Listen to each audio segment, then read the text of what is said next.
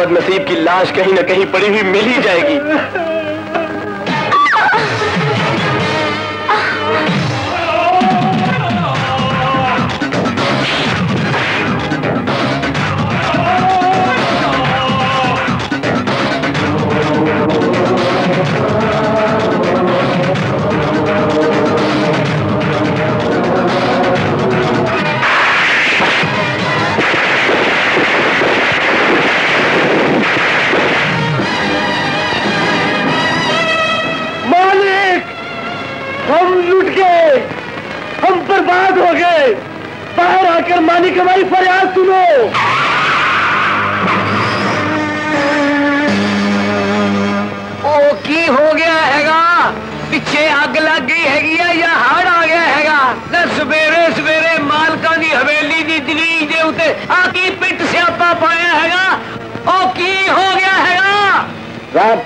हमारे गाँव पर कयामत टूटी है, मुंशी। फिर नकाब तो पोश आए कत्लोगारत के साथ हमारे गाँव की जवान लड़की भी उठा कर ले गए हैं।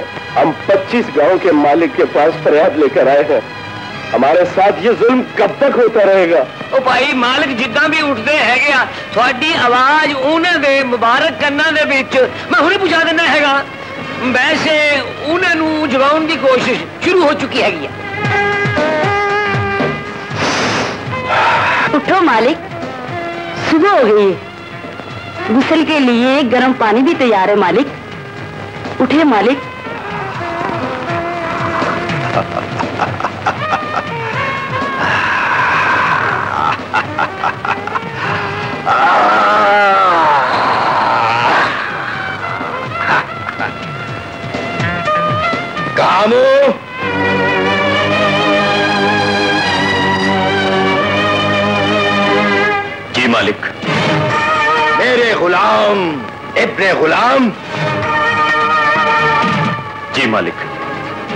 हमने ख्वाब देखा।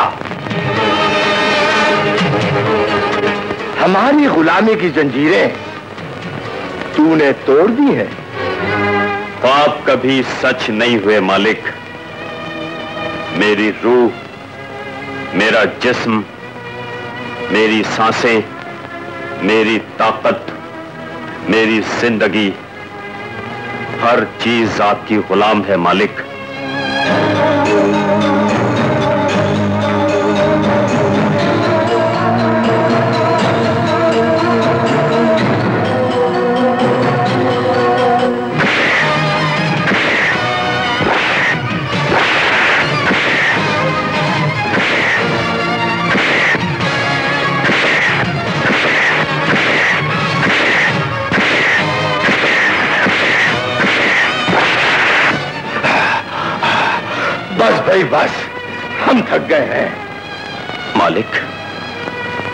आपकी वर्जिश घटती जा रही है।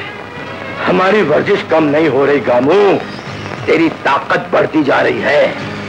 मेरी ताकत भी तो आप ही की ताकत है, मालिक। बेशक बेशक।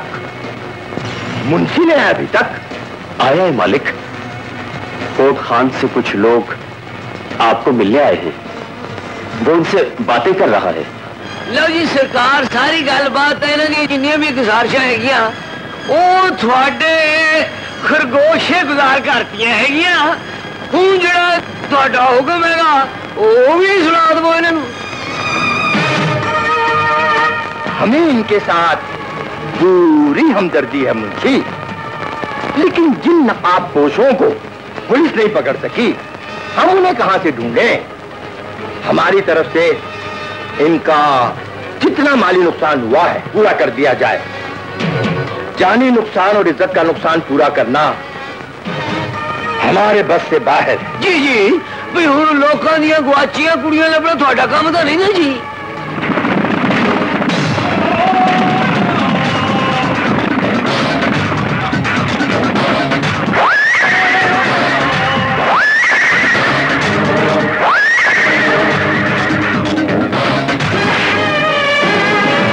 मुंशी कौन है ये लोग? कोट खान दी मजलूम आवाम है ये छोटी सरकार। तन का पोष डाकुआ दे जुल्म दी फरियाद नहीं फिरदे है जी। सुनो कोट खान के बासियों। हमने तुम लोगों को जमीनें दिए पानी दिया जीने का हक दिया। इसके अलावा अगर तुम लोग चाहते हो कि हम तुम्हारे चौकीदार भी बने तो ये नहीं हो सकता। हमारी जमीनें खाली कर दो और वहाँ जाके रहो जहाँ तुम लोगों की ज़िंदगी और इज़्ज़त को कोई खतरा ना हो। जाओ तबाह हो जाओ। जैसे आपका उप मालिक हम आज के बाद आपके दर पर फरियाद लेकर कभी नहीं आएँगे। आओ भाइयों चले।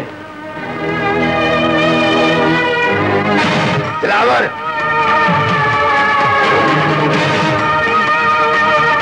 शेर शिकार करके न खाए। तो उसे मज़ा नहीं आता। मगर जो शेर एक ही जगह पर शिकार करता रहे तो शिकार खत्म हो जाते हैं। या इलाका छोड़कर भाग जाते हैं। अपना रुख बदल ले मेरे शेर। हमारी जागीर में कोट खान के अलावा 25 गाँव और भी हैं। तूने ठीक कहा, लाला। लेकिन जो मज़ा कोट खान के शिकार में है, किसी और में नहीं। फिर भी मैं कुछ दिनों के लिए अपना मुँह किसी और तरफ़ कर लूँगा।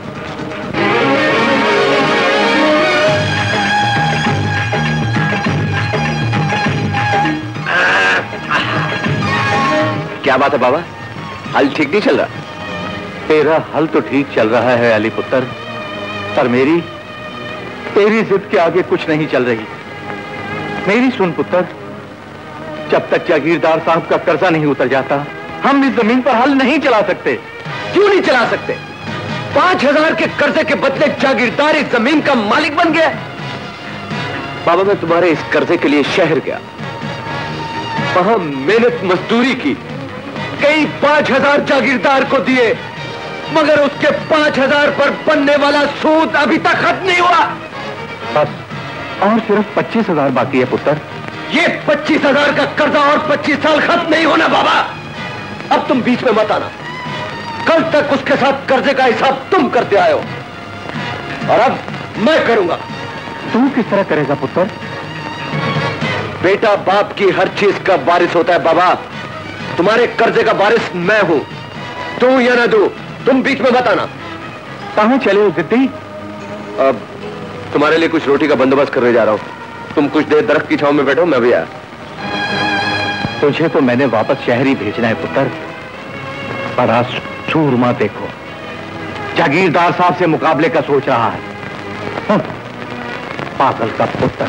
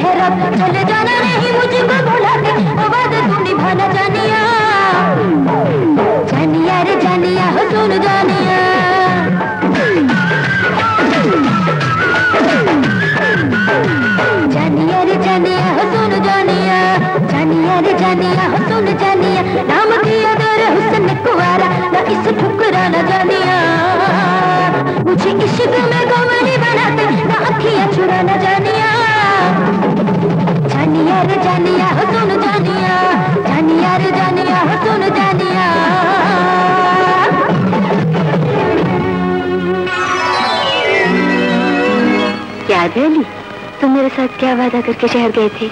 हाँ याद है तुम्हें ना भुलाने की कसम खाई थी। एक और भी वादा किया था। आते ही मुझे अपना बना लोगे बारात लेकर आओगे और मेरी डोली ले जाओगे। फिर कब लेके आऊँ बारात? अब थोड़ा इंतज़ार करना पड़ेगा। वो क्यों?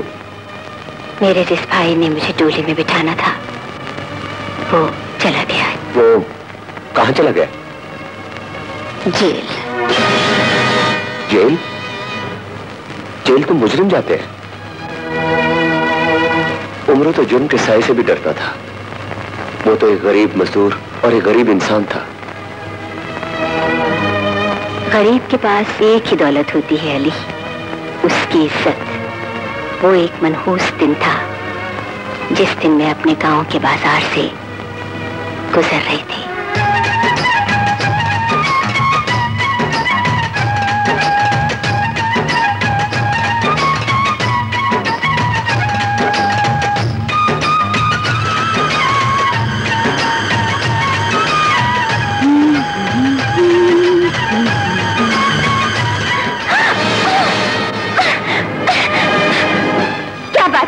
बात बात कुछ भी नहीं बादशाहजादी तेरा रास्ता रोक के तेरी चूड़ियों वाली तलाई पकड़ के बस इतना कहना था। है हम भी तो पड़े हैं राहों में। तू नहीं जानता किस भाई की बहन हूँ। जिसका बाजू गोगा पकड़ ले उसका भाई तो खुद बहन का दूसरा बाजू उसके हाथ में पकड़ा देता है। तुम किस भाई की बात कर रही हो? मैंने वो बाजू ही काट दिया खोल ले। जो तुमने मेरी बहन की तरफ़ बनाया था।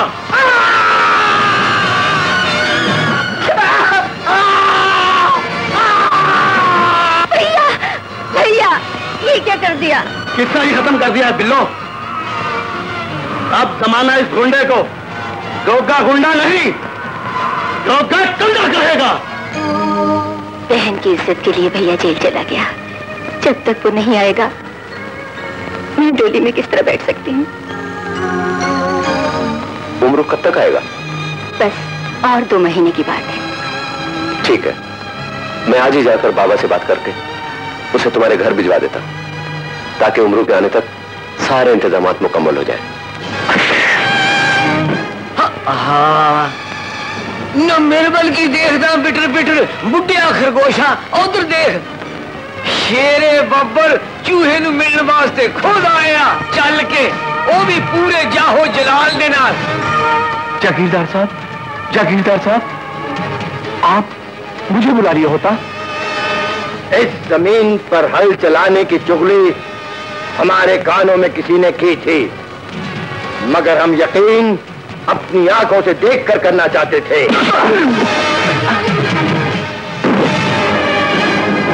क्यों चलाया इस ज़मीन पर हल? गलती होगी गई जागीरदार जी। तुझे ये याद क्यों नहीं रहा कि हमने गलती कभी माफ़ नहीं की?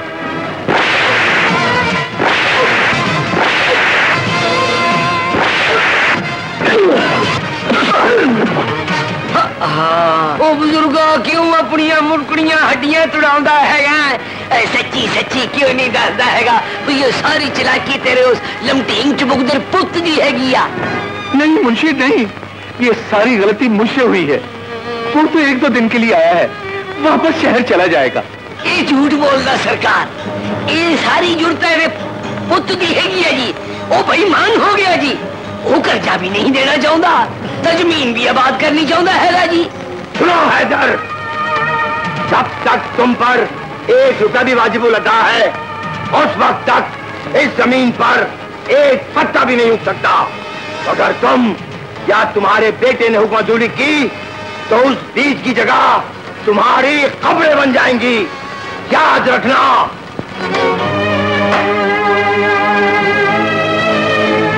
बाबा अभी तो बड़ा काम पड़ा हुआ था। आधा दिन भी बाकी था। फिर तुम इतनी जल्दी घर कैसे आ गए? इसलिए बेटा कि उस ज़मीन की किस्मत में सिर्फ़ वीरानी लिखी है। तुम वापस शहर चले जाओ।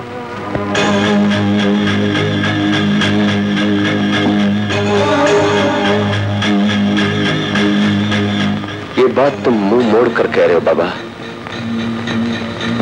इसलिए ये कहने की ज़रूरत कर रहा हूँ कि तुम झूठ बोल रहे हो। सच क्या है?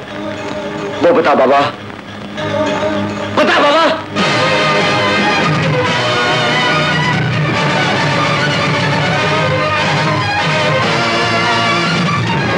बाबा।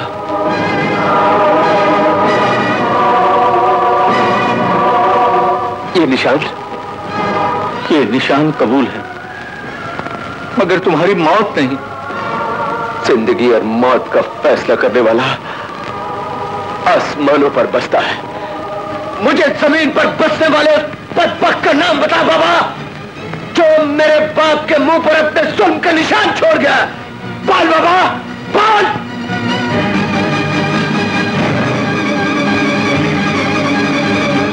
जागीरदार जगावर आया था? उसने वही कहा है जो बस बाबा बस। मुझे ये ना बता कि उसने क्या कहा था। मेरे लिए तुम्हारी बुजुर्गी के चेहरे पर सुन के निशान काफ़ी है। मुझे तो इंतज़ार ही उसकी पहल का था। कहाँ जा रहे हो? उसकी पहल की आखिर करने। नहीं अली नहीं। छोड़ दे बाबा। नहीं। मैं कहता हूँ छोड़ दे बाबा। नहीं। छोड़ दे।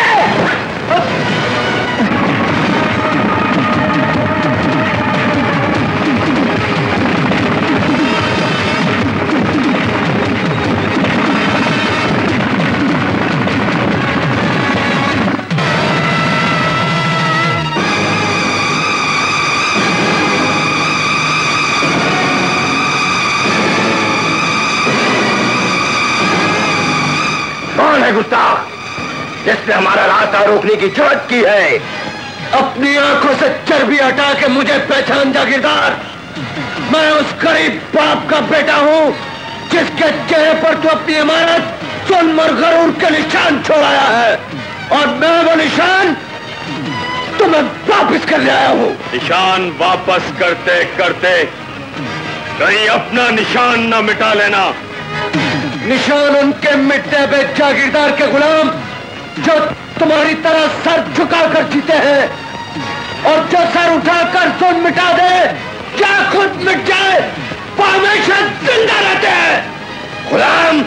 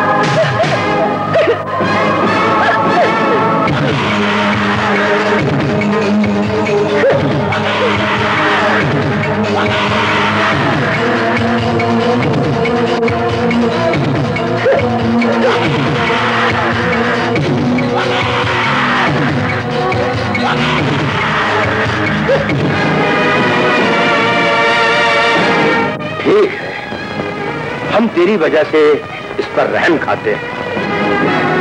सुनो, इसे उठाकर गाँव की गंदी नाली में फेंक दो, ताकि जब इसे होश आए तब इसे अपनी औकात का पता चल जाए।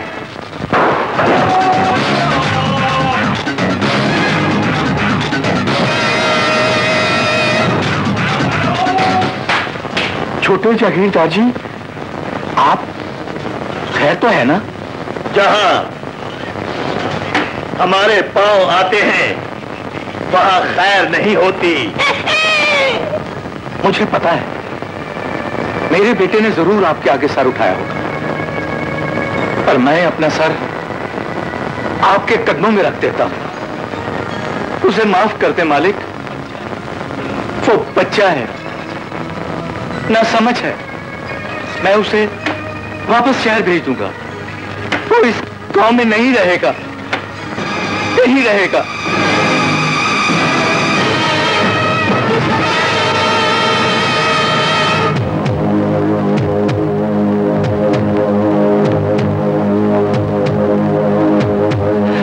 क्या बात है?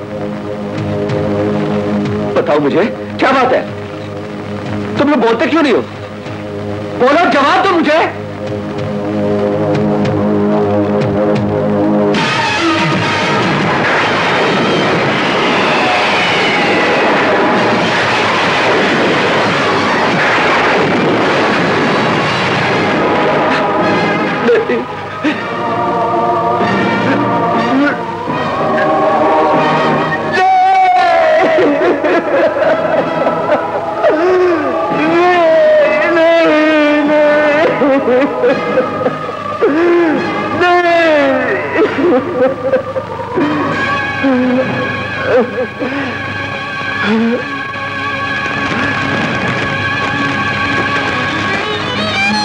मैं बाहोश हवास यह तहरीर कर रहा हूँ कि मैं कर्जों की परेशानी की वजह से खुदकुशी करने पर मजबूर हूँ। मेरे इस फेल की ज़िम्मेदारी सिर्फ़ और सिर्फ़ मुझ पर आयद होती है और मैं मरने से पहले अपनी ज़मीन जागीरदार जगावर के नाम करता हूँ। ताकि मेरे सीने पर उनसे लिए हुए कर्जों का बोझ न रहे। ये झूठ ये झूठ थानेदार साहब मेरा बाप खुदकुशी नहीं कर सकता। मेरा बाप खुदकुशी नहीं कर सकता। थानेदार साहब ये किसी की साजिश है? कोई चाल है थानेदार साहब? चाल है कोई इसकी चाल है? ये जागीरदारों की चाल है जो हमारी जमीनों के पीछे कुत्तों की तरह पड़े हुए हैं। इस इल्ज़ाम का कोई सबूत? थानेदार साहब मेरे पास कोई सबूत नहीं है मगर मुझे यकीन है। कानून तुम्हारे यकीन को नहीं मानता। हमारे पास तुम्हारे बाप की खुदकशी का सबूत मौजूद है। तुम्हें भी मान लेना चाहिए कि तुम्हारे बाप ने खुदकशी की है। इस लाश को पोस्टमार्टम के लिए ले जाओ। बेहतर साहब।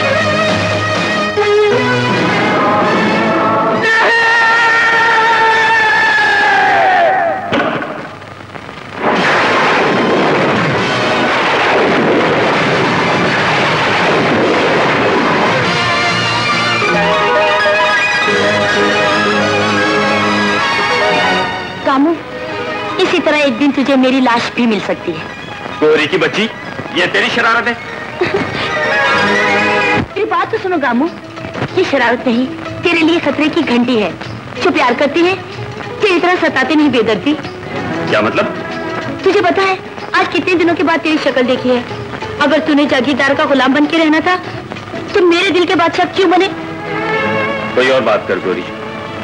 अच्छा ये बता माजी का क्या हाल है? माँ को तो दिन रात एक ही फ़िक्र लगी हुई है कि मैं कब बेली में बैठूँगी और कब उसके कंधों का बोझ हल्का होगा। तू फ़िक्र ना कर गोरी। जिस दिन भी मालिक का मुँह ठीक हुआ मैं उनसे तेरे और अपने ब्याह की बात करूँगा। सच कामू तेरी कसम। खुश कर दिया है सजना। ये खुशखबरी सुन के आज मेरा जी चाहता है मैं इतना नाचू इतना नाचू कि ये धरती भी मेरे साथ नाचने लग जाए। गोरी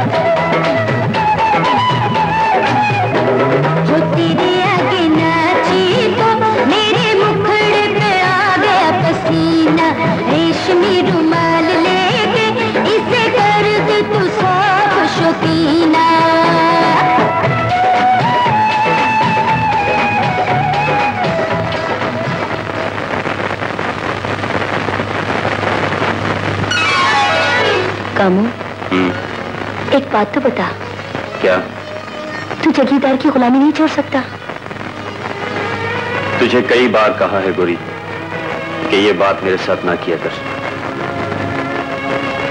गुलाम बन के जीना और गुलाम बन के मरना मेरे खून में शामिल है। मैं ये जंजीरें नहीं तोड़ सकता। कामू अगर तूने ये जंजीरें ना तोड़ी तो मेरा दिल टूट जाएगा। नहीं गोरी नहीं। अपने दिल को समझा। मैं उस बाप का बेटा हूँ। जो मरते वक्त मेरा बाजू अपने मालिक के हाथ में पकड़ा गया था। मेरा बाप भी गुलाम मरा था, गोरी। और मैं भी गुलाम ही मरूँगा। यही मेरे बाप का हुक्म और यही उसकी वसीयत थी।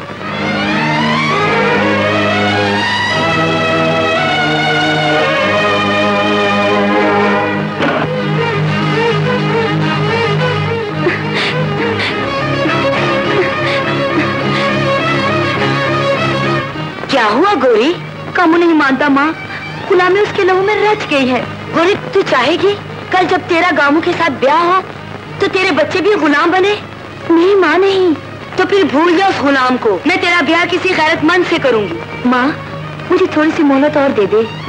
पता नहीं मुझे क्यों यकीन है, कामू एक दिन गुलाम नहीं रहेगा। एक दिन ऐसा तूफ़ान आएगा कि गुलामी की सारी जंजीरें टूट जाएँगी।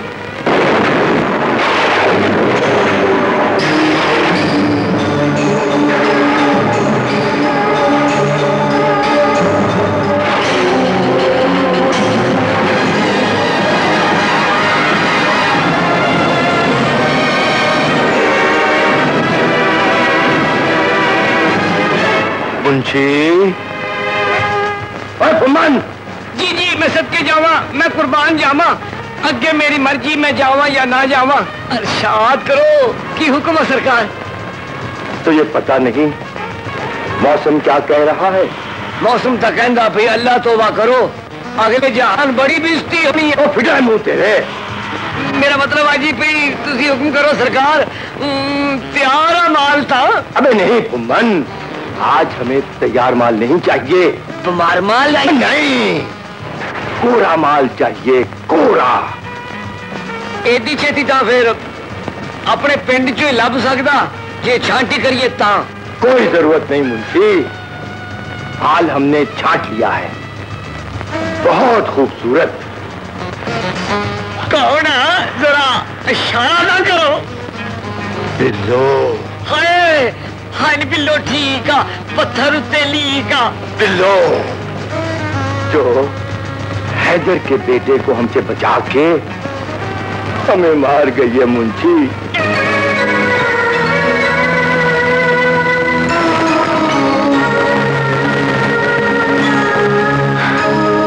अब सो जाओ अली। बिल्लो ये छत देख रही हो? इस छत पर मेरे बाप की लाश लटकी हुई थी। वो लाश किसने लटकाई थी? ये सवाल मुझे चैन से सोने नहीं देगा।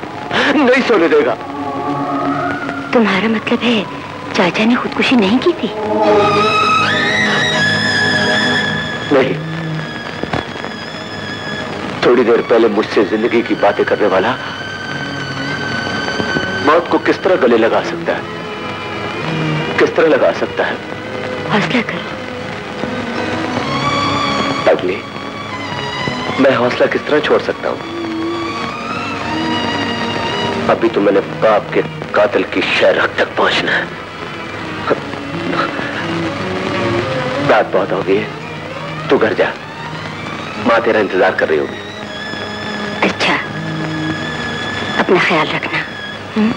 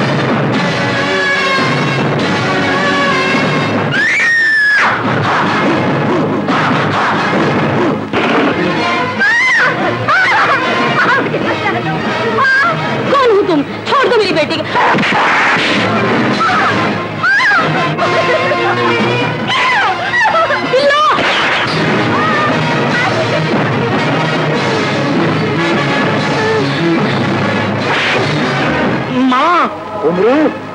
क्या बात है यार? आज तुम्हें माँ बहुत याद आ रही है। माँ की याद तो दिल से कभी नहीं निकली यार। मगर आज यूँ लगता है जैसे मेरी माँ और बहन किसी मुसीबत में है।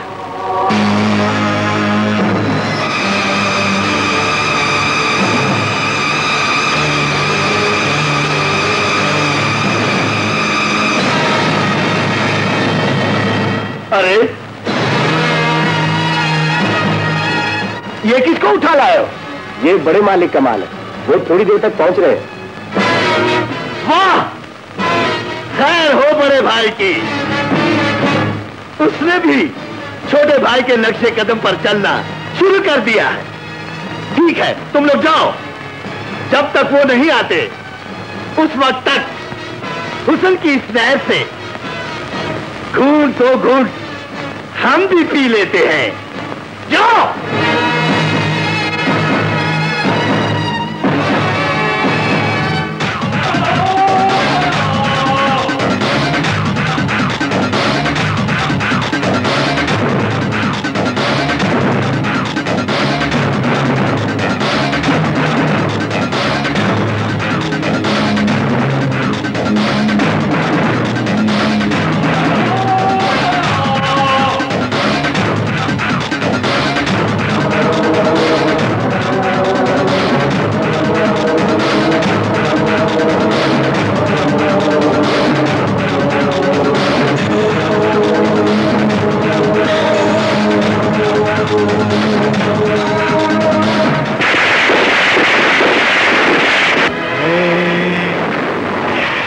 मौसम है आशिकाना कहीं ऐसे में भरे भाई तू ना यहाँ आना।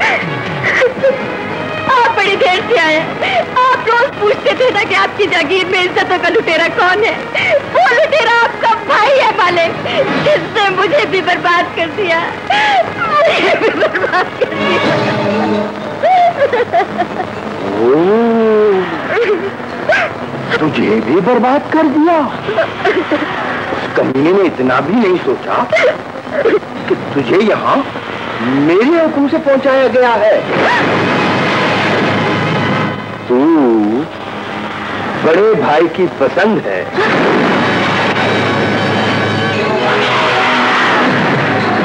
इस मौसम में तुझ पर हमारा दिल बेईमान हो गया है।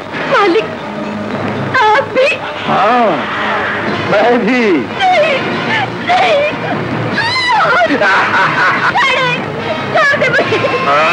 छोड़े,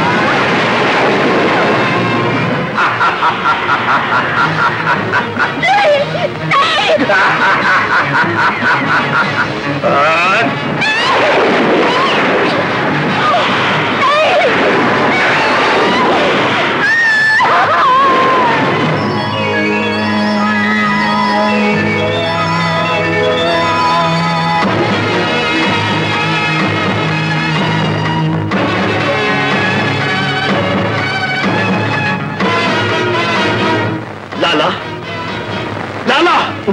हम्म, हाँ? क्या हुआ दिलावर? वो लड़की कहाँ है? लड़की? लड़की यही कहीं होगी किसी कोने वोने में? वो लाला वो कहीं भी नहीं। तो फिर चली गई होगी यार। हमारे तो उसके मज़े ने होश ही उड़ा दिए थे। लाला मैंने तो कभी सबूत को ज़िंदा ही नहीं रहने दिया। और आपने उसे ज़िंदा बाहर निकाल दिया। उसे ढूंढना पड़ेगा। उसे गाँव वालों तक नहीं पहुँचना चाहिए।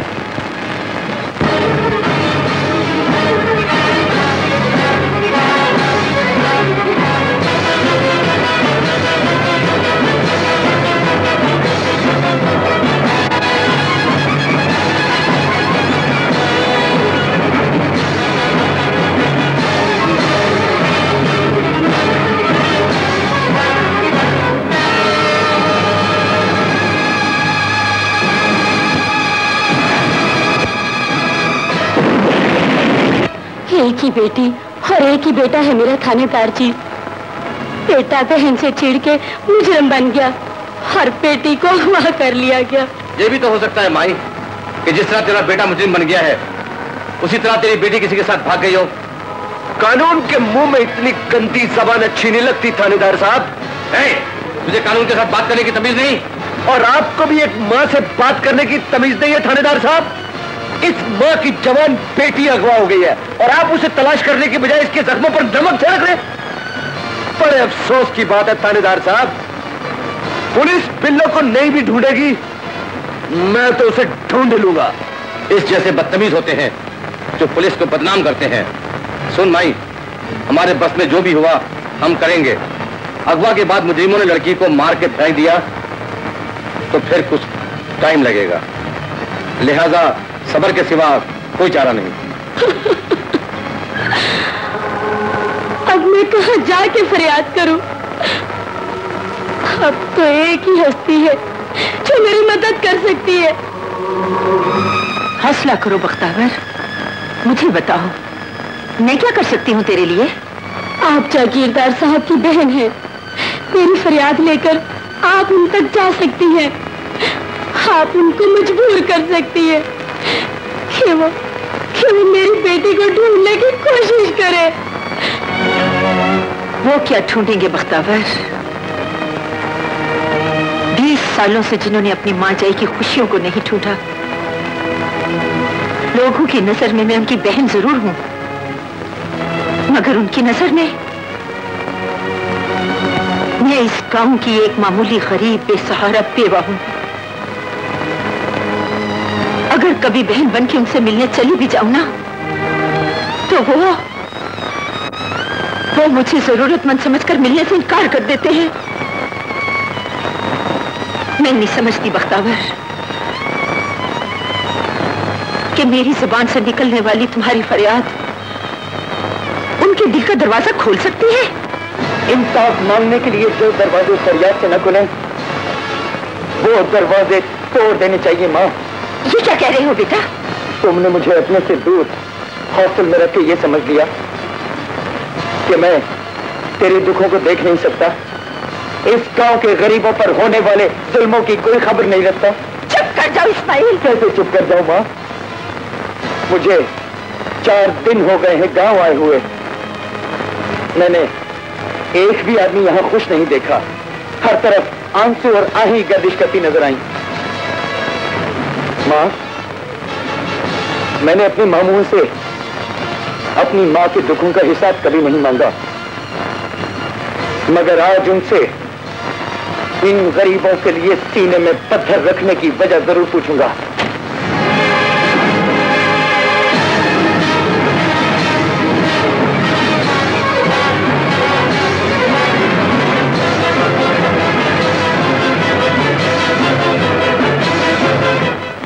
किसकी जान से आया है? और क्यों आया है? मैं तो एक मजलूम औरत की फरियाद आपके कानों तक पहुँचाने आया था मामा जी। हम्म, मगर यहाँ आकर पता चला कि मैं गलत दरवाजे पर आ गया हूँ। वह मामा जी वह बाहर गाँव की गरीब बहनों बेटियों की इज़्ज़त उछाली जा रही है और अंदर आप अपने खानदान की इज़्ज़त उछाल रहे हैं। बकवास बंद कर और हो जाए यहाँ से। कानो कानो किसी को बुलाने की कोई ज़रूरत नहीं मामा जी। मैं जा रहा हूँ।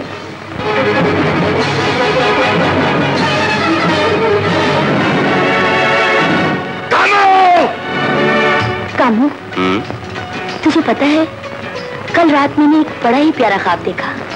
अच्छा। क्या देखा?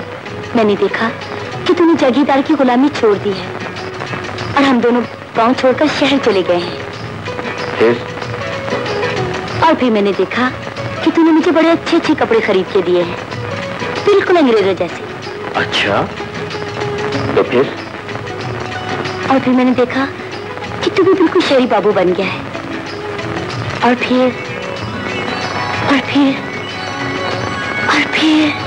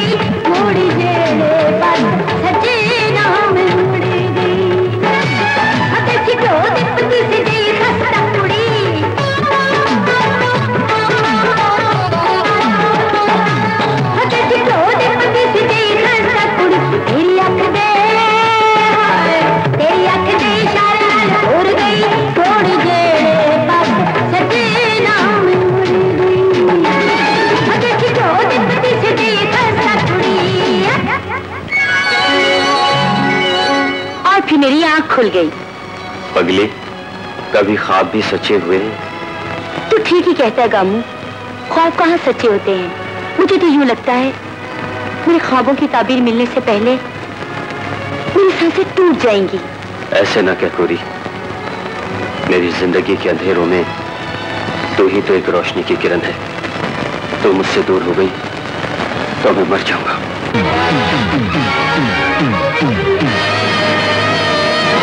मौत तो तेरे मुकद्दर में लिखी गई है। मगर मेरे एक एक सवाल का जवाब देने के बाद अपने शक को यकीन में बदलने के लिए मुझे सिर्फ़ एक गवाही चाहिए। तेरी गवाही। कौन पे मेरे बाप का कातिल कौन है? मैं तो सिर्फ़ इतना जानता हूँ कि तेरे बाप ने खुदकुशी की थी। कर रहे हो? मेरे बाप के कत्ल और बिल्लों के अखबार के पीछे सिर्फ़ एक ही हाथ है। और मुझे यकीन है कि तुम उस हाथ को जानते भी हो और पहचानते भी हो। नहीं अली मैं नहीं जानता।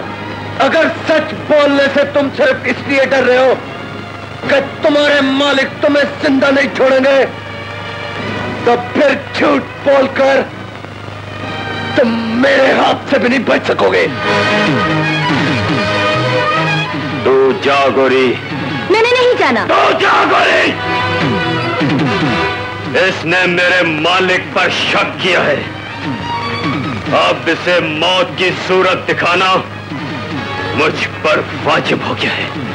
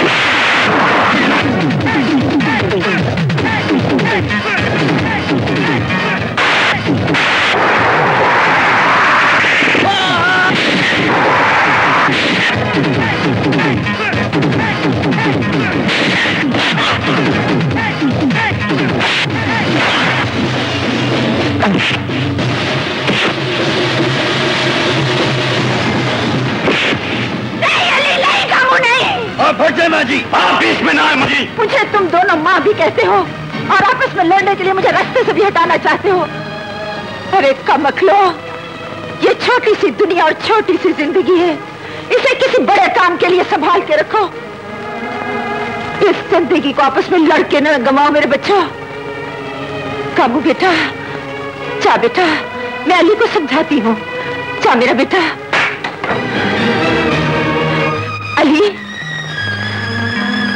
बेटा जब दुनिया के बनाए हुए कानून इंसानों की चालाकियों से हार जाएँ, तो फिर उसके फैसले का इंतज़ार करना चाहिए बेटा जिसके आगे ना किसी इंसान की चालाकी और ना ही मकारे चल सकती है। अरे बेटा गुलाम से क्या लड़ना? गुलाम का तो काम है मालिक को सच दे करते रहना।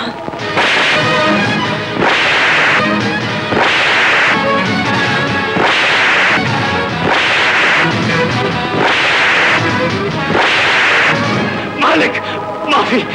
मुझे माफ़ कर दो, मालिक। मुझे माफ़ कर दो।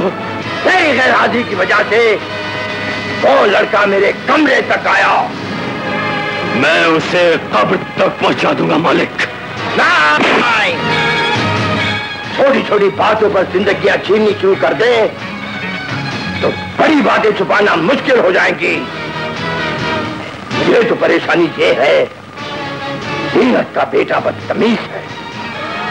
उसने हमारा वो रूप देख लिया है जो उसे नहीं देखना चाहिए था।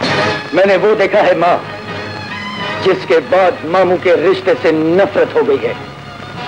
मैं समझता था कि वो सिर्फ़ जालिम है मगर आज पता चला कि वो बेदीद बेशर्म और बेगरत भी हैं। तुम तो ऐसे ना कहो इस्माइल। सच को सच न कहूँ सर झुका के अपनी आन अपना ज़मीन मार दूँ। ये नहीं होगा माँ तुम्हारा उनका क्या मुकाबला बेटा? तुम एक गरीब बेवा माँ के बेटे और वो बादशाह लोग। गरीब जब जबर और जुल्म के खिलाफ सर उठाता है माँ तो बड़े बड़े बादशाहों के ताज उसकी ठोकरों में होते हैं। तुम्हारी ये सोचे तुम्हारे और उनके दरमियान और दरारे डाल देंगे इसमें। मेरे भाई तो पहले ही बहाने ढूंढ रहे हैं कि किसी तरह तुम्हारी और सारा की मंगनी तोड़ दें। तुम्हारे भाई जितने मर्ज़ी ताकतवर बन के आ जाएँ, वो रिश्ता नहीं तोड़ सकते जो 20 साल पहले मेरे बाप ने जोड़ा था। सारा भी तो इस रिश्ते में राज़ी नहीं। पर तुम तो राज़ी हो ना माँ। सारा मेरी बहू बने ये मेरी ज़िंदगी की सबसे बड़ी ख्वाहिश है। ख्वाहिश माँ की हो और बेटा उसे पूरा ना करे ये कैसे हो सकता है? उस मगरूर जागीरदारनी को राज़ी होना पड़ेगा।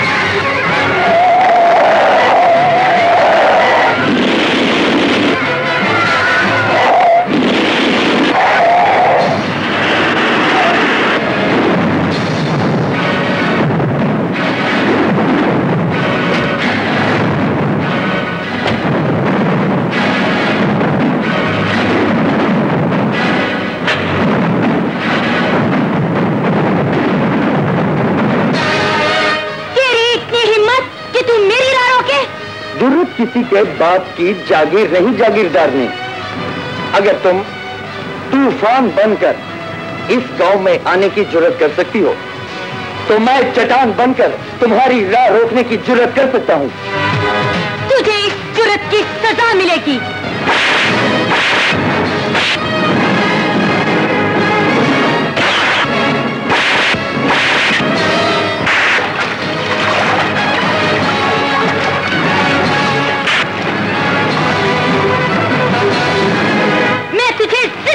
छोड़ूँगी। ना ना ना ना। ये गलती न करना। शादी से पहले ही बेवा हो जाओगी। याद रखना मैं तुम्हारा होने वाला मजाजी खुदा हूँ। तुझे ये जुरत बहुत महँगी पड़ेगी। घर जाके अपने गुरूर के आईने में मिट्टी में मिट्टी हो जाने वाली अपनी ये सूरत ज़रूर देखना जागीरदारनी शायद तुम अपनी असलियत पहचान जाओ।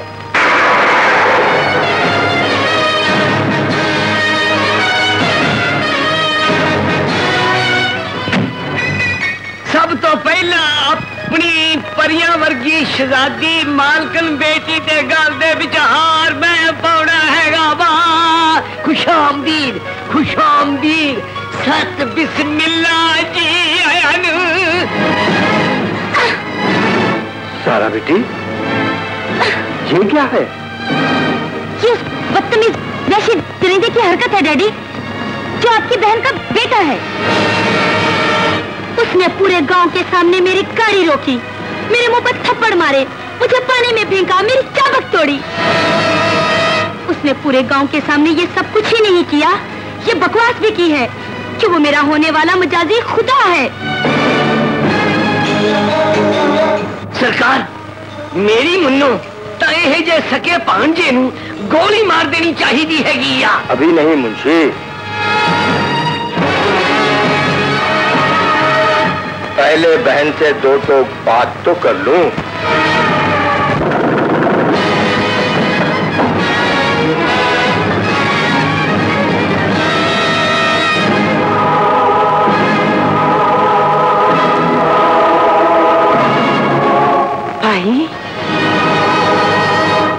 मुझे याद है। तेरे ये भाई इस घर में उस वक्त आखिरी बार आए थे। जब ये बहन बेवा हुई थी।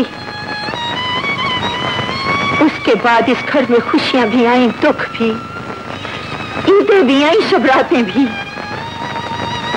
मगर मेरे भाई नहीं आए। मगर आज आज मेरे भाग किस तरह जाग पड़े? तरह रास्ता भूल गए हो तुम दोनों भाई? रास्ता हम नहीं भूले। तेरा बेटा भूल गया, जीनत। तू भूल गई है कि हम क्या हैं? हमारी इज़्ज़त क्या है? लेकिन तेरा बेटा बहुत आगे निकल गया है। उसकी इतनी जुलत हो गई है कि उसने भले बाज़ार में मेरी भतीजी का हाथ पकड़ा और उसकी चाबुक तोड़ी। सुनो है मेरे मामुओं, अभी तो सिर्फ़ चाबुक तोड़ी है। बड़ी जल्दी उसके गुरूर का शीशा भी तोड़ूँगा और उसकी झूठी शान भी। बकवास बंद कर कमीने। दिल तो करता है। तेरी लंबी जबान काट कर तेरे गुस्ताख हाथों में दे दूँ लेकिन करूँ क्या? बहन का ख्याल आता है। बहन का ख्याल आया है मगर बड़े दिनों के बाद। चुप कर जाओ इस्माइल। आज ही तो बोलने का मौका आया है माँ। बताओ है मेरे मामू मेरी माँ तुम्हारे घर बारात लेकर कब आए? कब दोगे मेरी मंगेतर को मेरी बीवी का रूप? दिनाच वाह! खूब तैयार किया है बेटे को।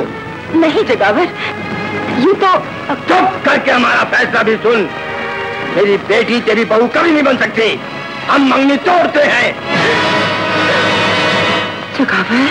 अब अगर तूने या तेरे बेटे ने अपनी औकात से बढ़ने की कोशिश की। सायरा का नाम भी तुम्हारी जबान पर आया। तो तेरे साथ भी रिश्ता टूट जाएगा। और याद रखना जीनत जिस दिन तेरे साथ रिश्ता टूटा उसी दिन इसके साथ भी टूट जाएँगे।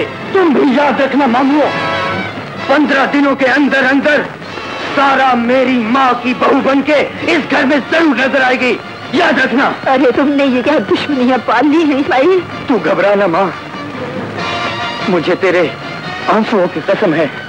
इन झूठे इज्जतदारों की इज़्ज़त तेरे बेटे के पाँव की जूती ज़रूर बनेगी। नहीं मेरे भोले बेटे नहीं। वो बड़े ताकतवर हैं। माँ हर फिरौन के लिए रब एक मूसा ज़रूर पैदा करता है।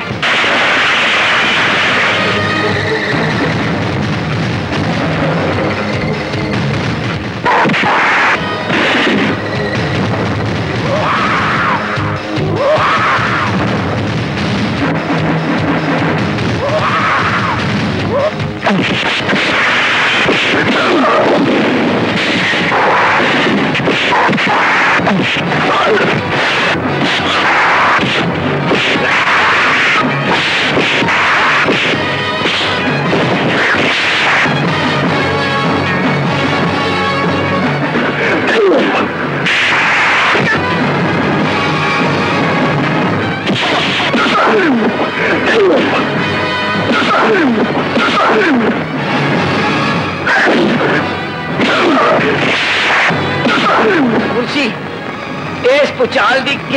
ਕਿਤੇ ਤੇਰੇ ਤੇ ਨਾ ਨਜ਼ਰ ਪੈ ਜਾਏ ਮਾਲਕਾਂ ਨੂੰ ਦੱਸ ਦੇ ਪਈ ਕੀ ਹੋਇਆ ਹੈ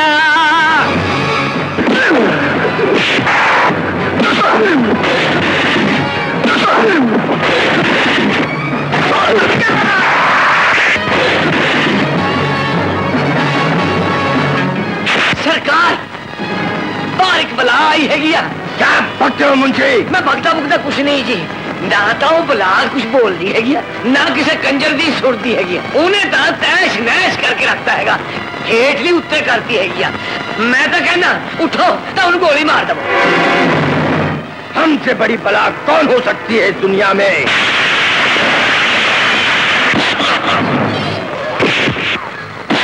पता नहीं वो कौन है मालिक जो तूफ़ान बनकर आया है और सब कुछ तहस करके हवेली के अंदर आ गया है। हवेली के अंदर चला गया? कौन है इतनी ज़रूरत वाला बदबख्त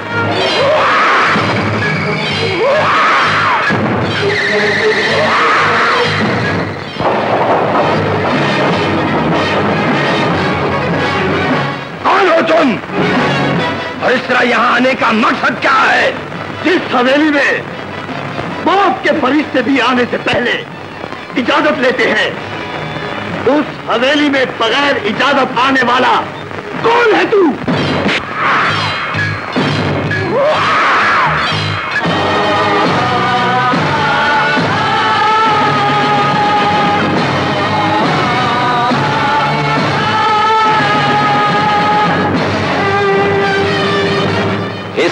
का मालिक।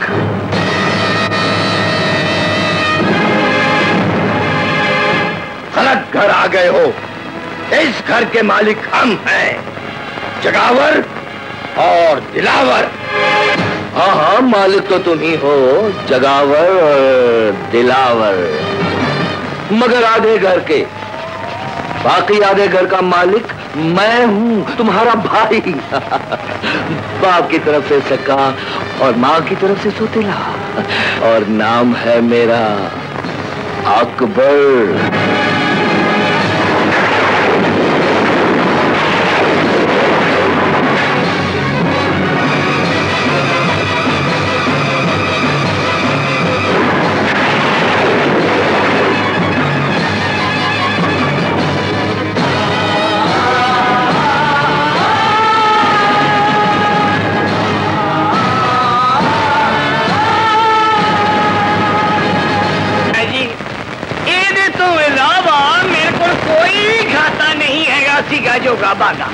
मुंशी मन इस खाते में घपला है? असल खाते कहाँ है? मुझे 20 सालों का हिसाब चाहिए, नहीं तो मैं तेरा हिसाब कर दूँगा। जोश से नहीं, होश से काम लो दिखाकर दुश्मन को कभी कमज़ोर नहीं समझना चाहिए। वो अपने हाथ मज़बूत करके आया है। फिर थानेदार ने भी यही कहा था। कि अकबर पर सोच समझकर हाथ डालना। क्योंकि शहर में अकबर की पहुँच बहुत बड़े बड़े अफसरों तक है। लाला फ़िलहाल तो हमारे लिए सबसे बड़ा मसला अब्बा जी का वसीयतनामा है। मुंशी! जी सरकार। मुंशी पुमन तू फ़ौरन गामू को हाकू मफरूर के पास शहर भेज दे और ये पता करा कि वो वसीयतनामा असली है या नकली? लानत भेजो हाकू अफरूज पर लाला जिसने आपसे दो लाख लेकर भी काम पूरा नहीं किया माँ को मार दिया और बेटे को हमारे लिए आजाब बनाकर ज़िंदा छोड़ दिया। फकीर को अचानक बादशाही मिल जाए तो वो तेरी तरह पागल हो जाता है। जब हकदारों से उनका हक छीन लिया जाए तो हकदार पागल ही नहीं। उस हक छीनने वाले की शहरक काट दिया करते हैं। तुझे मेरे डैडी के कमरे पर कब्जा करने की ज़रूरत कैसे हुई? मैंने तो सिर्फ़ एक कमरे पर कब्जा किया है मैडम। तेरा डैडी तो इस घर की हर चीज़ पर सांप की तरह कुंडली मारकर बैठ गया है। अकबर! ये बातें बच्चों के सामने करने वाली नहीं होती। ये बातें बच्चों ने ही तो शुरू की है। मैं तो बच्चों के डैडी खत्म कैसे होंगी? जायदाद में मेरा हिस्सा और मेरी माँ के कातिल मुझे मिल जाएँ। तो ये बातें खत्म हो जाएँगी। तेरी बात जाए जहन्नम में। हम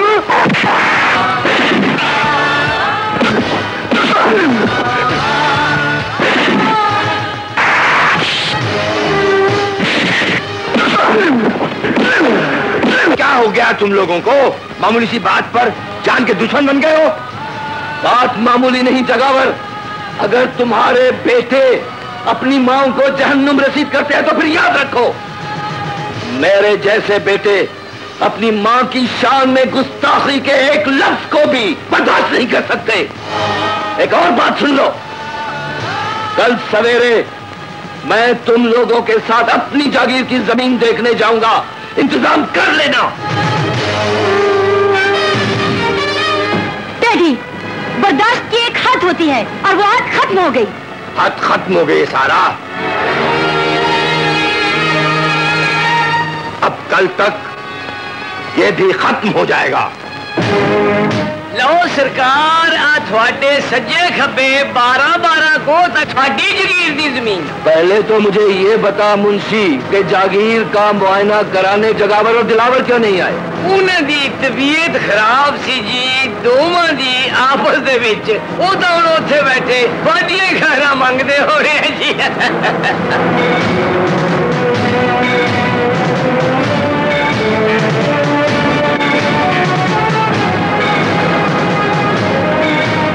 रोक के सरकार रोक के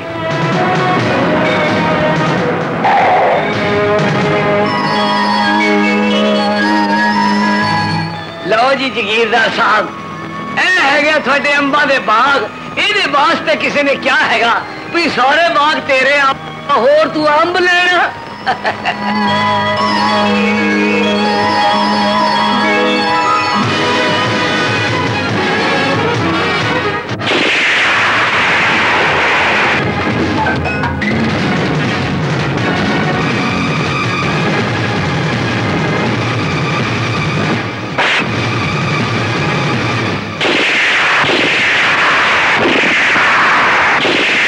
ਲਓ ਜੀ ਜਗੀਰਦਾਰ ਸਾਹਿਬ ਮੇਰਾ ਕੰਮ ਸੀਗਾ ਤੁਹਾਨੂੰ ਇੱਥੋਂ ਤੱਕ ਪਹੁੰਚਾਉਣਾ ਮੈਂ ਚੱਲਣਾ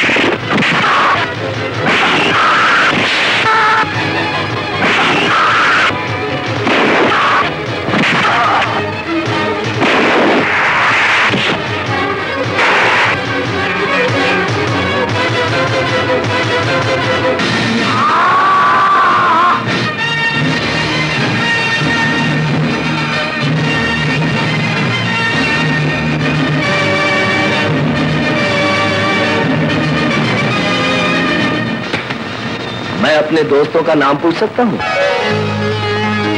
माँ? माँ?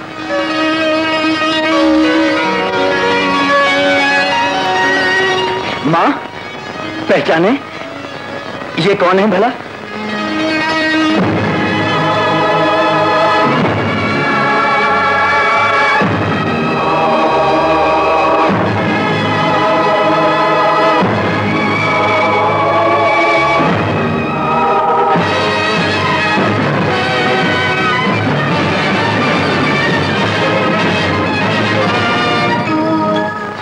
मेरे बाप जैसी है।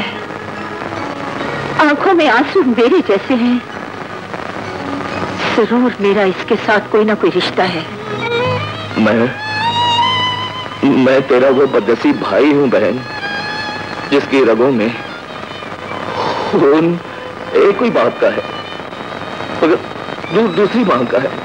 मगर मेरा वो भाई तो मरा नहीं था। मेरे मामू ने अपने बेटे की कुर्बानी देकर मुझे बचा लिया था। भैया अकबर कितने दिनों से जिद करा है जागीर पर जाने की? कुछ दिन और सब्र कर ले मेरी बहन फिर हम अपने बांजे को पूरी जगीर की सैर कराएँगे।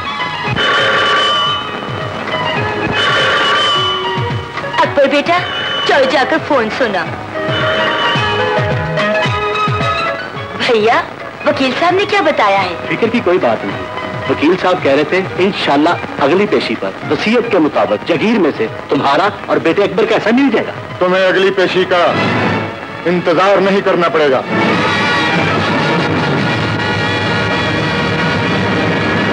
तुम्हारा हिस्सा तुम्हें आज ही मिल जाएगा।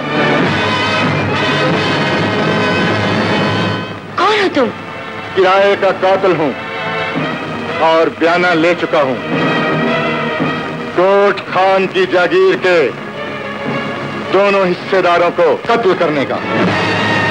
तुझे तो मैंने पहचान लिया है कोट खान की जागीरदार जागीरदारनी।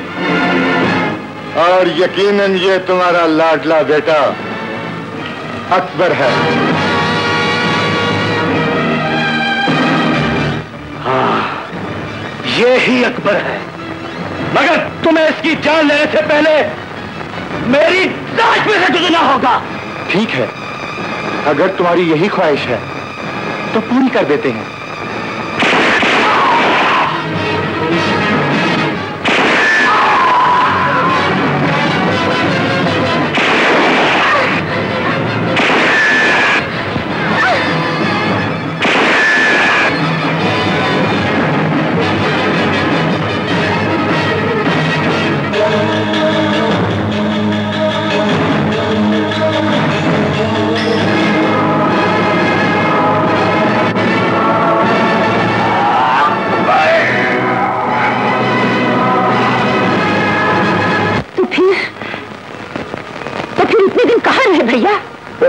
बहन जीनत बहुत दूर। इस जागीर से बहुत दूर जहाँ मामू ने मुझे मेरे अनदेखे दुश्मनों से छुपा के पाला। मुझे मेरे बाप की जागीर का पता मामू की मौत की आखिरी हिचकी से लगा। मैं खुश था कि भाइयों से मिलूँगा।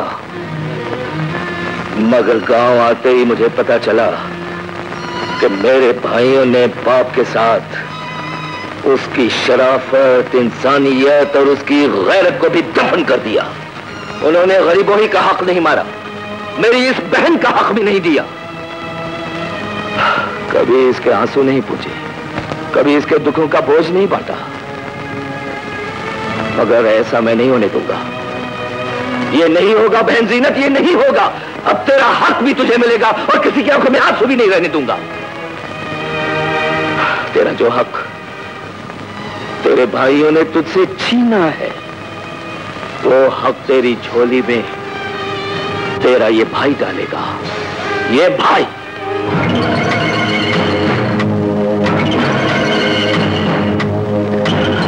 मुंशी! जी आका नंबर दो। जाकर पता करो अकबर की लाश अभी तक क्यों नहीं पहुँची? हाँ, हाँ।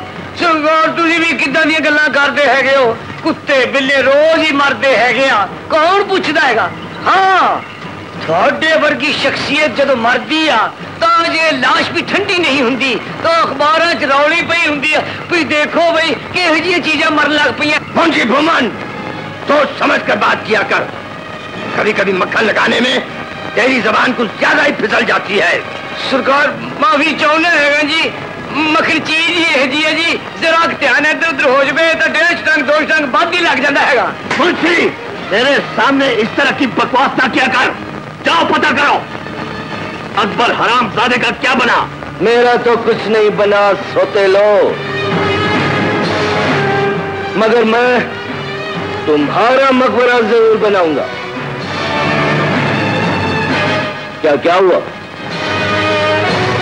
चार सौ चालीस वोल्ट का करंट लगा है मुझे जिंदा देखकर ਹਾਂ ਇਹ ਤਾਂ ਭਾਈ ਟਰਾਂਸਫਾਰਮਰ ਦਾ ਪੁੱਤ ਹੈਗਾ ਇਹ ਤਾਂ ਇਹਨਾਂ ਦੋਹਾਂ ਦੇ ਬਲਬ ਫਿਊਜ਼ ਕਰਕੇ ਰਹੂਗਾ तुम लोग इस तरह गुम सुम क्यों हो गए हो तुम लोगों ने कोई नई बात तो नहीं की दौलत चीज ही जलील है जायदाद चीज ही ऐसी है अपनों को दुश्मन बना देती है एक बार फिर ट्राई मारो ना मुझे मरवाने की। जो अगर तू हमारे सामने और हम तेरे सामने खुल ही गए हैं तो समझ ले हम तुझे अपनी जायदाद में से कबर जितनी जगह भी नहीं देंगे। तुम मेरे साथ वही सलूक करोगे ना जो बेवा बहन के साथ किया। अच्छा। तो तू उससे भी मिलाया है। सिर्फ़ मिलकर ही नहीं उसे उसका हक दिलाने का वादा भी करके आया हूँ। जिसको अपनी ज़िंदगी का यकीन न हो उसे ऐसे वादे नहीं करने चाहिए। वादा तो मैं पूरा करूँगा। अपना भी और तुम्हारा भी। हमने कोई वादा नहीं किया। किया है। किया है? लड़की का रिश्ता देने का वादा। तुम इस मामले में ना आना अकबर। क्यों आऊँगा? क्यों आऊँगा मैं? ये तो लड़की और लड़के का मामला है। उन्होंने आपस में फैसला करना है कि किस दिन एक होंगे।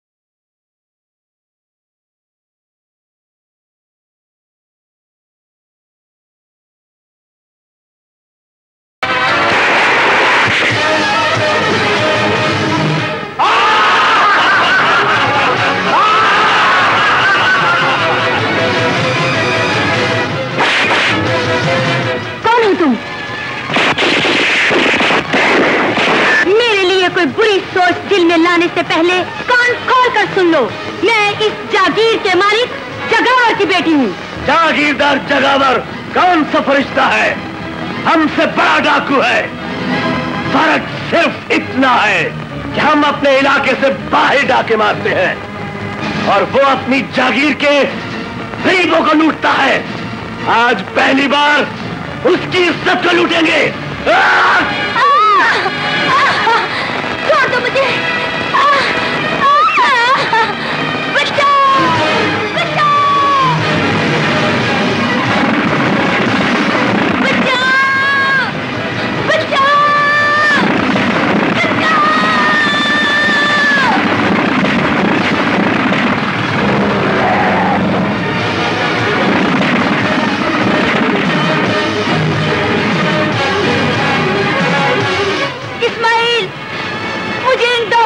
बचा लो प्लीज़ इस लड़की के कहने में ना आना लड़के। जान चली जाएगी। जान चली जाए मगर लड़की नहीं जाएगी।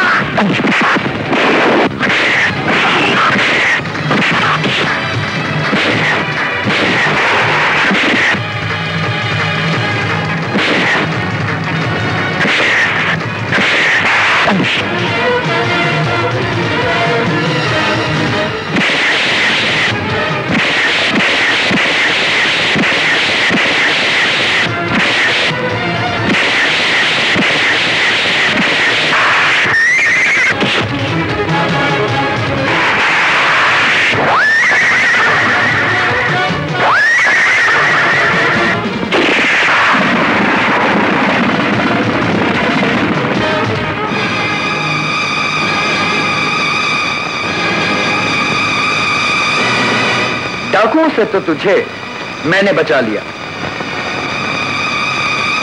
अब मुझसे तुझे कौन बचाएगा? क्या मतलब? ये जंगल बियाबान ना कोई तेरी फरियाद सुनने वाला और ना कोई मेरा जुल्म देखने वाला। जी चाहता है तेरे जैसी अमीर जादी को इस तरह कुचल के रख दूँ जिस तरह तुम तुम्हारा बाप चाचा गरीबों की जिंदगियाँ कुचलते हैं। प्लीज़ मुझे जाने दो इस्माइल। एक बार फिर कहो। इस्माइल मुझे जाने दो। जरा गिड़गिड़ा के मिन्नत करके। मुझे जाने दो। मैं तुम्हारे आगे हाथ जोड़ती हूँ। प्लीज़।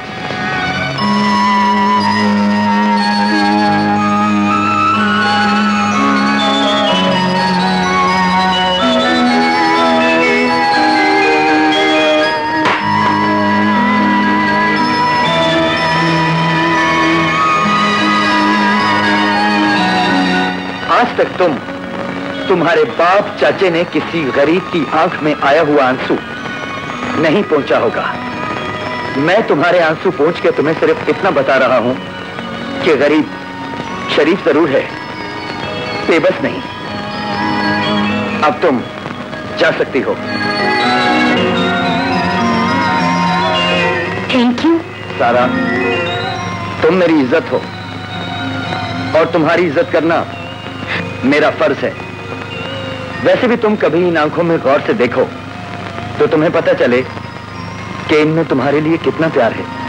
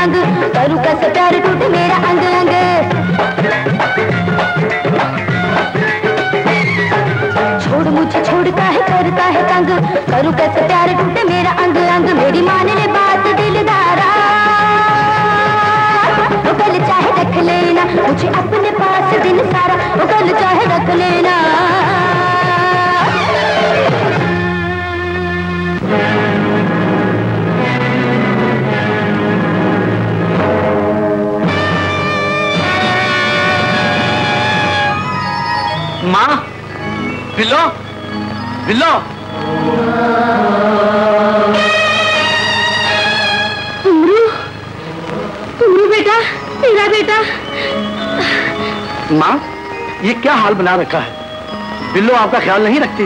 कहाँ है बिल्लो? आप क्यों रो रही हैं? कुछ तो बताएँ। हाँ। क्या बताऊँ? क्या बताऊँ बेटा? जिन घरों के रखवाले घरों से दूर हो जाए, उन घरों की हर शय लूट का माल बन जाती है। तेरी बेटी रोती रही, मगर मैं उसे नहीं बचा सकी। वो लुटेरे तुम्हारी इस बेबस माँ के सामने उसे उठा कर ले गए। नहीं नहीं माँ नहीं। ये क्यामत की खबर तुमने मुझे जेल क्यों नहीं पहुंचाई? इतनी देर क्यों लगा दी थी माँ? मैं नहीं चाहती थी बेटा जेल के अंधेरों में तेरा जीना मुश्किल हो जाए। जीना तो अब भी मुश्किल हो गया है माँ। अब तो उनके कदमों के निशान में मिट चुके होंगे जो मेरी बहन को उठाकर ले गए थे। मगर कोई बात नहीं, माँ। उम्र उन तक पहुँच कर रहेगा। उन जालमों का निशान मिटा कर रहेगा। उन्हें बर्बाद कर कर रहेगा।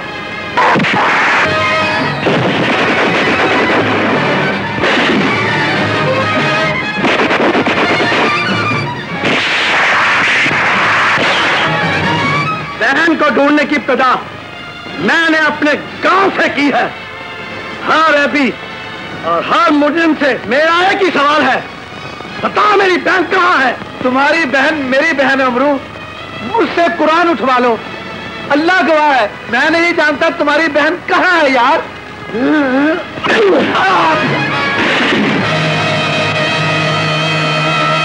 उमरू इनमें से किसी की इतनी ज़रूरत नहीं कि तुम्हारे घर की दहलीज पार करके पिल्लों को उठा सके।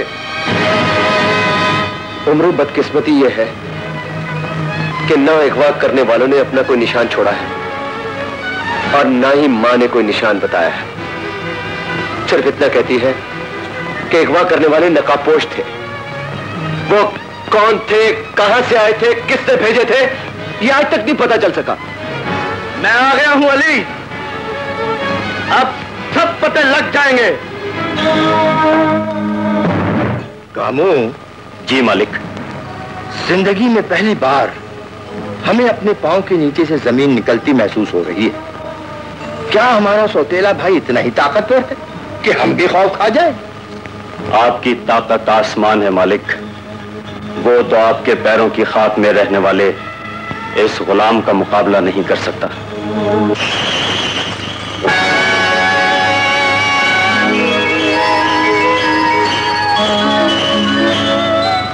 कामू जी, मालिक। कौन है ये? ये ये गोरी है, मालिक, गोरी। तुझसे मिलने आई है। जी, मालिक। प्यार करती है तुझसे। जी, मालिक। मैं तो इससे ब्याह करना चाहता हूँ। आपसे इजाज़त लेनी थी। मगर मगर समझ नहीं आती थी किस तरह बात करूँ। पर पर आज आपने बोझ ही लिया है। गोरी, इधर। इधर आना।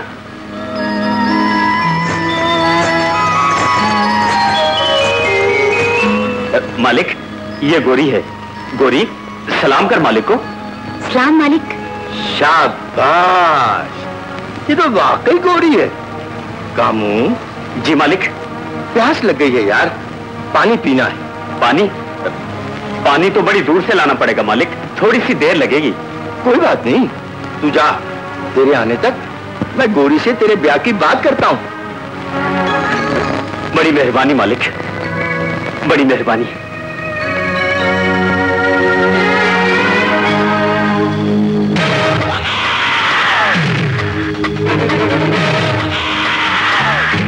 गोरी तुझे पहले कभी गाँव में नहीं देखा?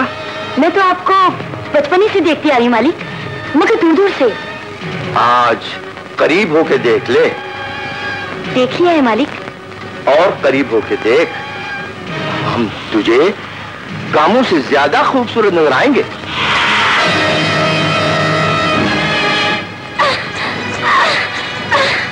नहीं मालिक नहीं। तेरा मालिक हमें मालिक कहता है। उसने हमारे सामने कभी इनकार नहीं किया। तू भी न कर। आ मेरी बाहों में आ जा।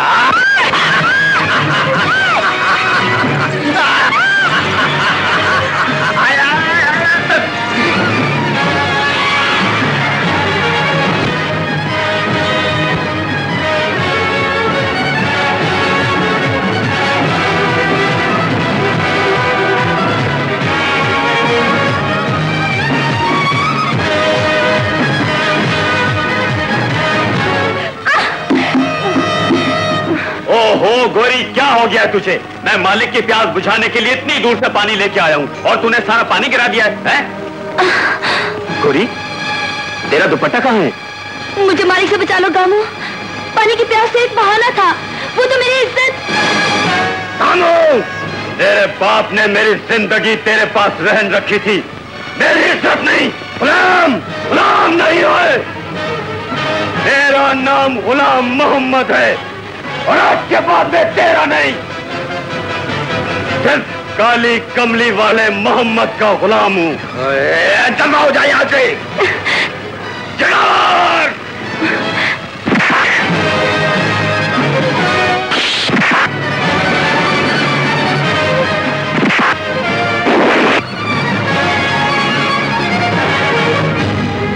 ये गुस्ताखी तुझे बहुत महँगी पड़ेगी कामू हमारे सामने सर उठाने वाला दूसरे दिन का सूरज नहीं देखता।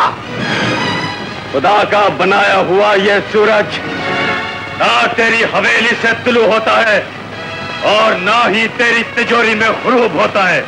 उठ, जागीरदार, और आगे बढ़ के अपनी चादर से मेरी इज़्ज़त का सर ढप उठ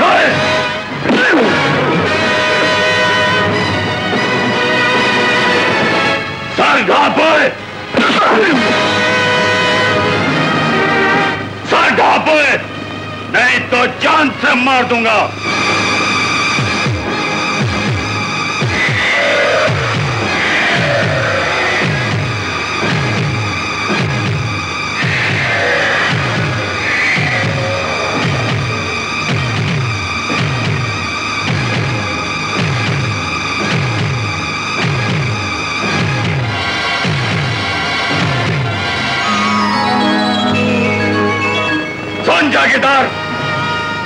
से मैं अपने आप को तेरी गुलामी से आज़ाद करता हूँ। आज़ाद! क्या दफ़ा हो जाए यहाँ से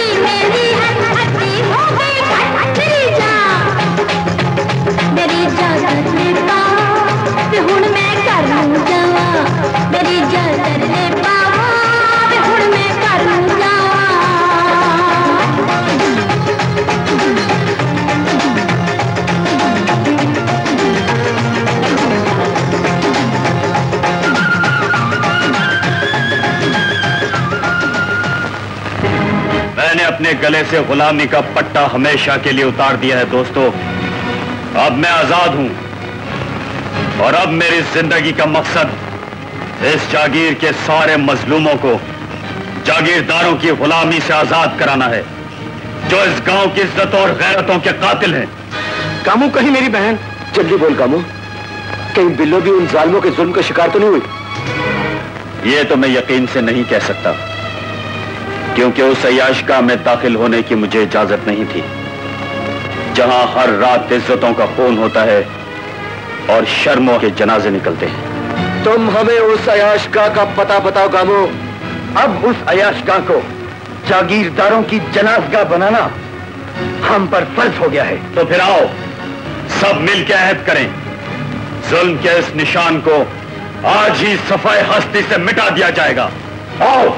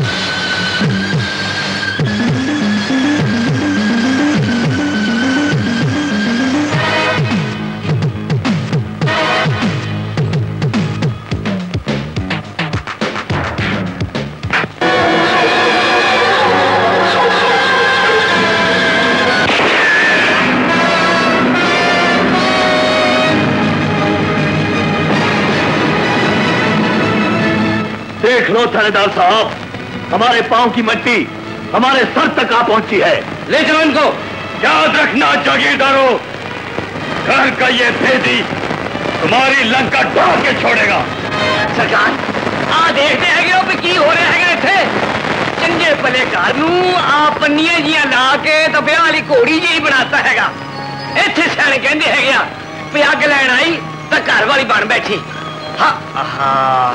चलो उन्होंने तो बर्दाश्त कर ही लिया हूँ प्रौने भी इस घर च आने भी अमरीका तो आने तो भी कुड़िया आनगियाँ अल्लाह जाने इतने की करना चाहता है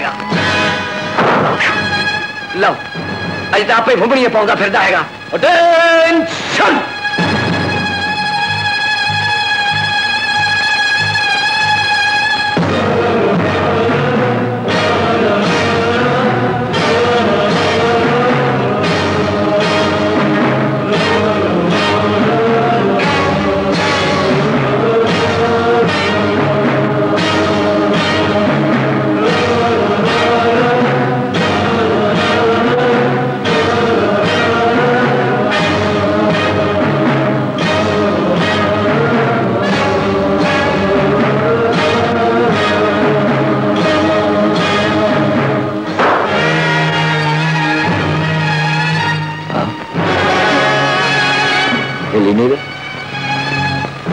ज़िंदा हो के मर गए हो।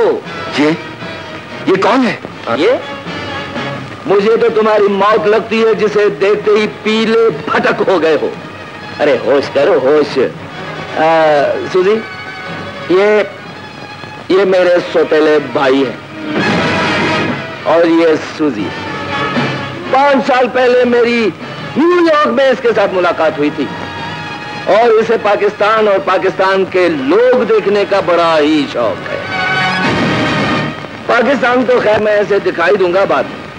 पहले पाकिस्तान में रहने वाले कुछ इस तरह के लोग भी देख ले।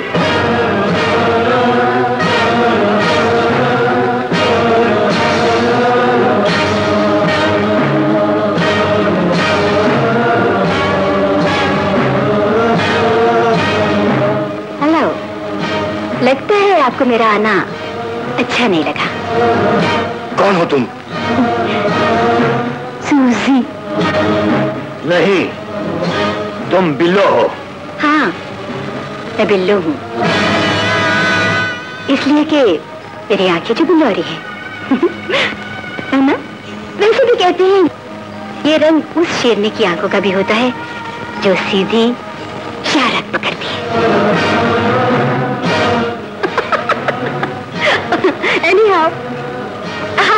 मिलकर बड़ी खुशी हुई। अकबर? यस मेरा बेडरूम किधर है? तेरा बेडरूम सारा ने खास तौर पर डेकोरेट किया है। है सारा। हेलो हेलो सारा तुम्हारे चाचा ने खत में तुम्हारे बारे में बहुत कुछ लिखा है। तुम अपने नाम की तरह बहुत प्यारी हो। Very sweet thank you thank you very much आइए मैं आपको आपके बेडरूम तक ले चलूँ। प्लीज़ कम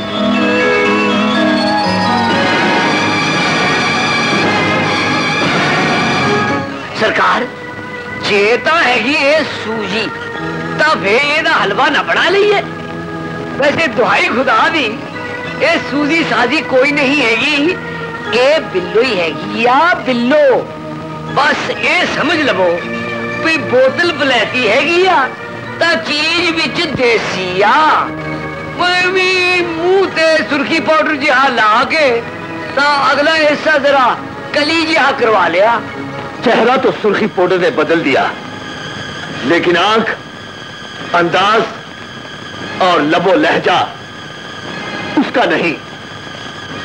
कहा वो जाहिल गवार और कहा ये? नहीं, ये बिल्लो नहीं हो सकती। बिल्लो तो मर चुकी है। मैं ज़िंदा हूँ और इंतकाम बनकर इन जालिमों तक भी गई हूँ। मुझे ये समझ नहीं आ रही, सर, कि अगर कभी इस गाँव में रहने वाली अपनी माँ से आमना सामना हो गया। तो उससे अनजान कैसे बनोगी? मुझे तो कोई एतराज़ नहीं। अपनी माँ से तू मिल सकती है। माँ से मिल लिया। तो इन सालिमों से हिसाब लेना मुश्किल हो जाएगा सर। मैंने अपने दिल पर पत्थर रखकर इन पत्थरों को रेजा रेजा करना है। Good luck sir. यस मैं आपका ये एहसान कभी नहीं भूलूँगी। मेरा ये रंग रूप, ये अंदाज सब आपकी मेहरबानियों का नतीजा है। मेहरबानी तो तेरी है, सूजी, कि तूने मेरी बात मानी है।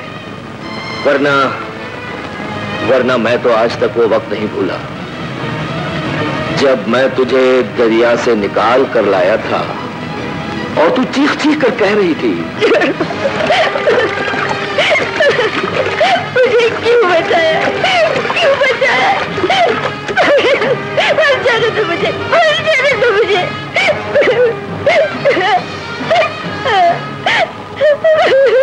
क्यों मरना चाहती हो? क्यों मरना चाहती हो? ज़िंदा रहने के लिए मेरे पास कुछ नहीं बचा। समझ गया। समझ गया। ज़िंदा रहने का ढंग तुझे मैं सिखाऊँगा। मैं सिखाऊँगा। अगला प्रोग्राम क्या है सर? फ़िलहाल तो उनको आग लगाने के लिए कल इस घर में तेरी सालगिरह मनाई जा रही है। वेरी गुड उनकी इस बेबसी पर मैं खुशी से गाऊँगी भी और नाचूँगी भी।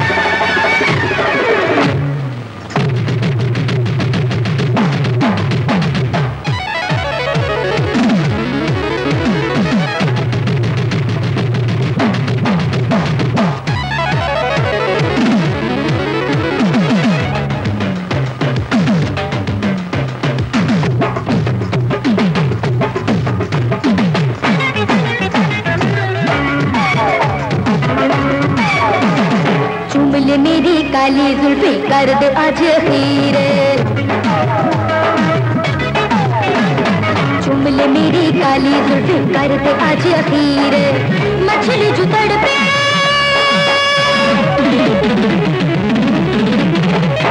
मछली जो तड़पे जिया ऐसे धड़के, गोरी कला में फंस गया मगरा कैसे सहूं मैं पीड़ ले मेरी काली जुल्फे कर दे आज अखीर मछली जो तड़पे, जिया ऐसे धड़के, बुरी गले में फंस गया कंगना कैसे कहूँ मैं पीर हाँ झूम ले मेरी काली जुल्फे कर दे आज अखीर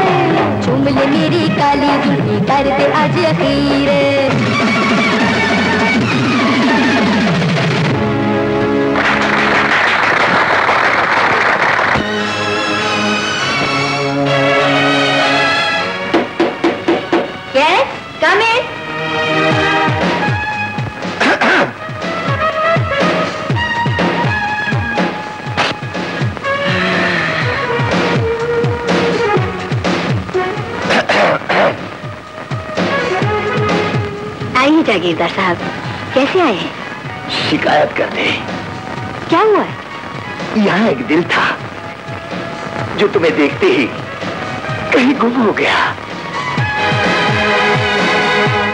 अगर मैंने सुना है आपके सीने में दिल की जगह पत्थर है? पत्थर ज़रूर था लेकिन तुम्हें मिलते ही धड़कन लग पड़ा। धक धक धक प्यार करने लग पड़ा। सच का कोई सबूत? सबूत के लिए मैं अपनी जागीर अपना तन मन धन और अपना सर आपके कदमों में रख दूँगा। आप तो बड़े दिल फेंक छोटे जागीरदार साहब। और कितनी लड़कियों पे कुर्बान हो चुके हैं? मुझे तेरी जान की कसम है। तू मेरी ज़िंदगी में आने वाली पहली लड़की है। जब से तू आई है ना मेरे अंदर एक तूफ़ान एक तलातम आ गया है। आग ही आग बन गया हूँ मैं। फ़िक्र न करें। मैं इस आग को राख कर दूँगी। तो फिर कर दो ना राख।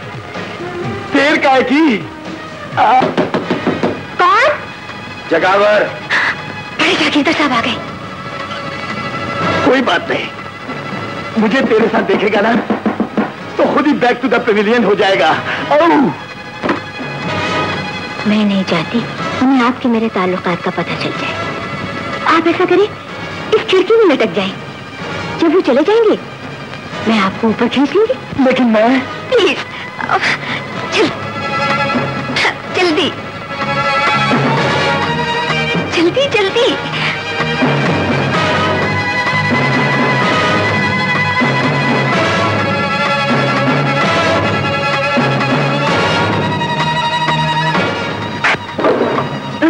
बन जागीरदार साहब आए। आइए आइए।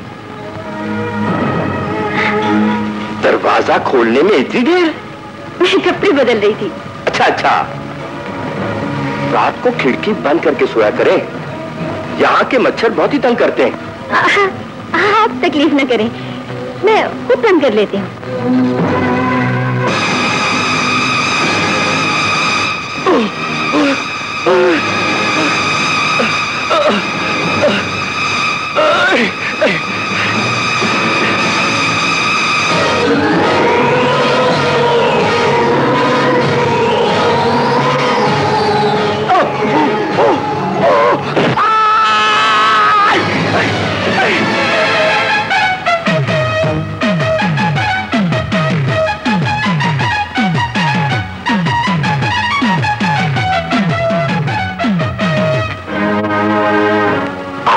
सुना सूजी जी किसी के चीख मारने की आवाज़ आई।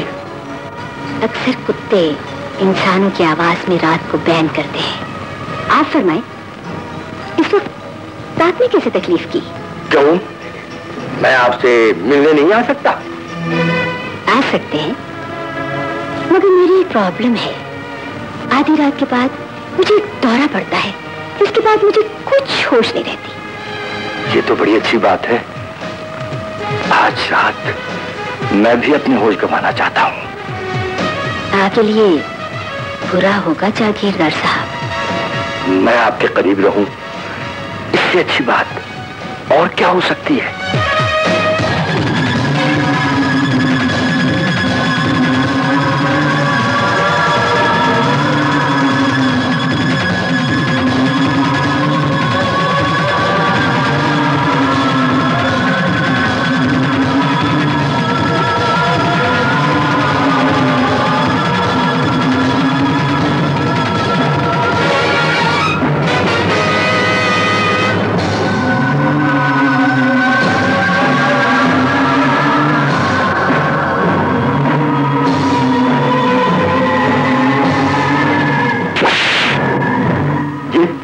ये क्या है?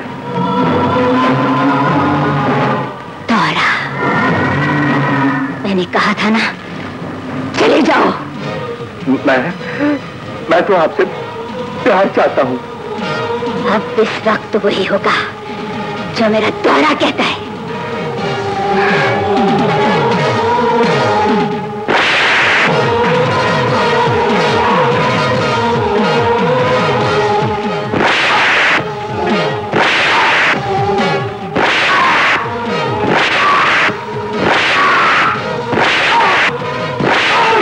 cu.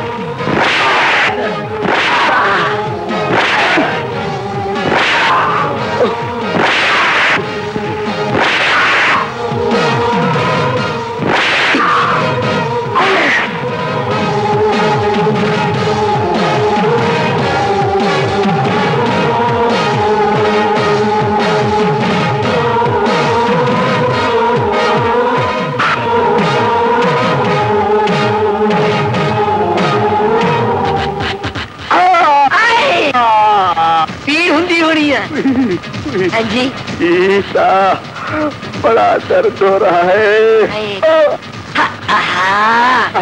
साहब जी थोड़े नाल बहुत बुरी हुई है किसी शरीफ आदमी नाल हुई होंगी ना तो वो डुब के मर जाता बड़ी ज्यादती हुई हैगी तुम ना हाँ जी।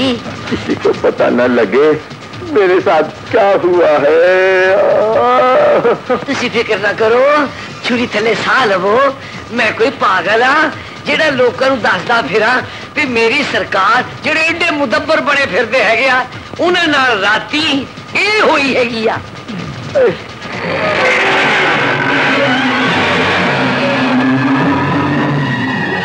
कौन है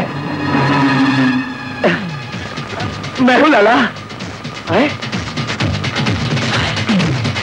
ये क्या हुआ ਅਹ ਕੁਛ ਨਹੀਂ ਹੋਇਆ ਬੜੇ ਸਾਹਿਬ ਖੋਰੇ ਚੋਂ ਤਿਲਕ ਕੇ ਤਾਂ ਮੱਝਾਂ ਦੇ ਬਾੜੇ 'ਚ ਜਾ ਪਏ ਮੱਝਾਂ ਦੇ ਰਣ ਪੜ ਗਈਆਂ ਹੈਗੀਆਂ ਸੀਗੀਆਂ ਉਹਨਾਂ ਨੇ ਪੂੰਛਾਂ ਮਾਰ ਮਾਰ ਕੇ ਐ ਹਾਲ ਕੀਤਾ ਫਿਲਹਾਲ ਅਹ ਮੈਂ ਸੁਣਿਆ ਸੀਗਾ ਤੁਸੀਂ ਵੀ ਸਵੇਰੇ ਹੱਥਾਂ ਦੀ ਮਾਲਿਸ਼ ਕਰ ਰਹੇ ਹੈਗੇ ਸੀਗੇ ਤੁਹਾਡੇ ਵੀ ਕੋਈ ਹੱਥ ਕਰ ਗਿਆ जी हाँ जी हाँ ऐसे ही जरा चोट सी लग गई थी ਹਾਂ ਹਾਂ ਆ ਜਾਂਦੀ ਹੁੰਦੀ ਆ ਅਹ ਮੈਨੂੰ ਤਾਂ ਲੱਗਦਾ ਜਿਵੇਂ ਇਸ ਹਵੇਲੀ ਦੇ ਵਿੱਚ ਕੋਈ ਹਵਾਈ ਚੀਜ਼ ਆ ਵੜੀ ਹੈਗੀ दो बुर्ज हला के रखते हैं। बकवास बंद कर तुम मना पता कर सूजी कहाँ है? उसे नाश्ता किया है ये नहीं? नाश्ता मैंने कर लिया है जागीरदार साहब चाय मैं आपके पास बैठ के पीऊँगी। आपका हाल कैसा है? ठीक है ठीक है। माफ़ी चाहती हूँ। मेरी वजह से आपको थोड़ी सी तकलीफ़ उठाना पड़ी। छोटे जागीरदार साहब अपनी जागीर की सैर नहीं कराओगे? क्यों नहीं कराऊँगा? आप तैयारी करें मैं आपको ले चलूँगा ले चलूँगा। अच्छा जागीरदार साहब अब मैं चलती हूँ। बाय बाय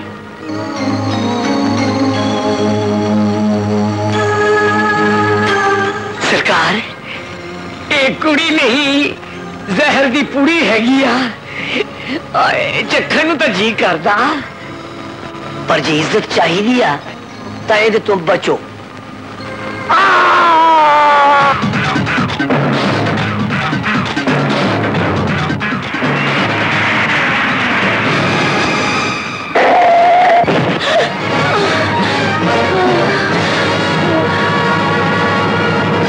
अंधी हो गई है तुम्हें जीप आती नजर नहीं आई कसूर आपका था जागीरदार साहब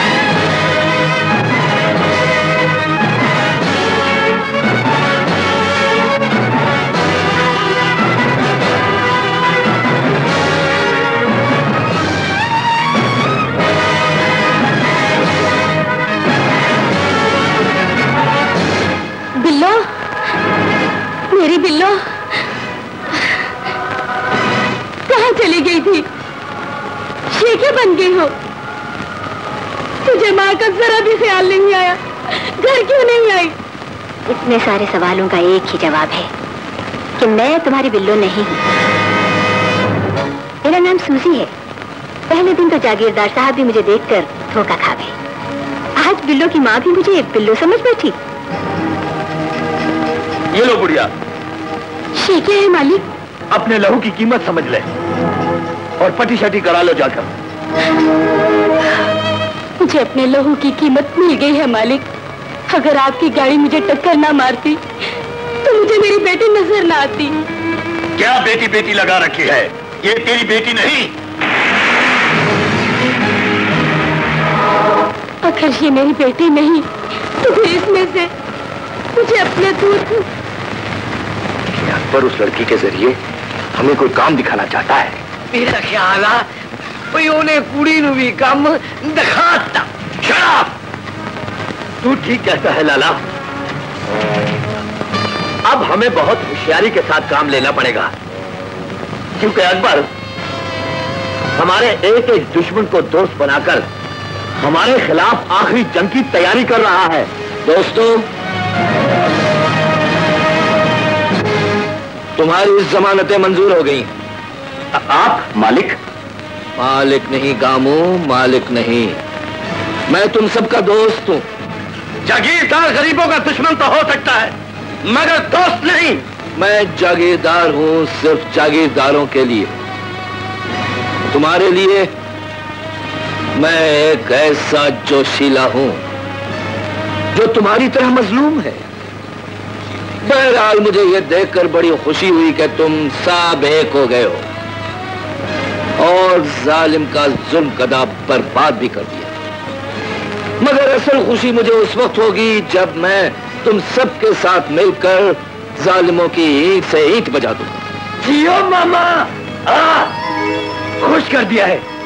खुश तो अभी मैंने तुझे करना है। जल्दी कर। तुम्हारी शादी की सब तैयारियाँ मुकम्मल हैं। आप मेरी शादी? किसके साथ? वही लड़की जिसका चचा और बाप इस शादी में राज़ी नहीं। ओ मामा जिंदाबाद! सरकार! सरकार! सरकार! क्या हुआ मुझे? थोड़ा बेड़ा गर्क हो गया। थोड़ा कख नहीं रहा। पूरा पिंड थोड़े थू थू कर रहेगा। तू सी जगीरदार नहीं रहे। तुसी ता तट पूंजिए हो गए हो। बक बक न कर दिया का मैं बक बक नहीं कर रहा जी बार मुंडे थोड़ी तीर ना ब्याह कर रहे हैं। क्या बकवास कर रहा है? क्या दिमाग तो ठीक है मुंजे मेरा मतलब हैगा जी पई मुंडिया दी जमानत हो गई या? ता बिच थोड़ा मतरिया भरा खड़ा हैगा ता थोड़ी तीर दा इस्माइल दे नाल ब्याह करवा रहा हैगा। हुन तक ते हो गया होना।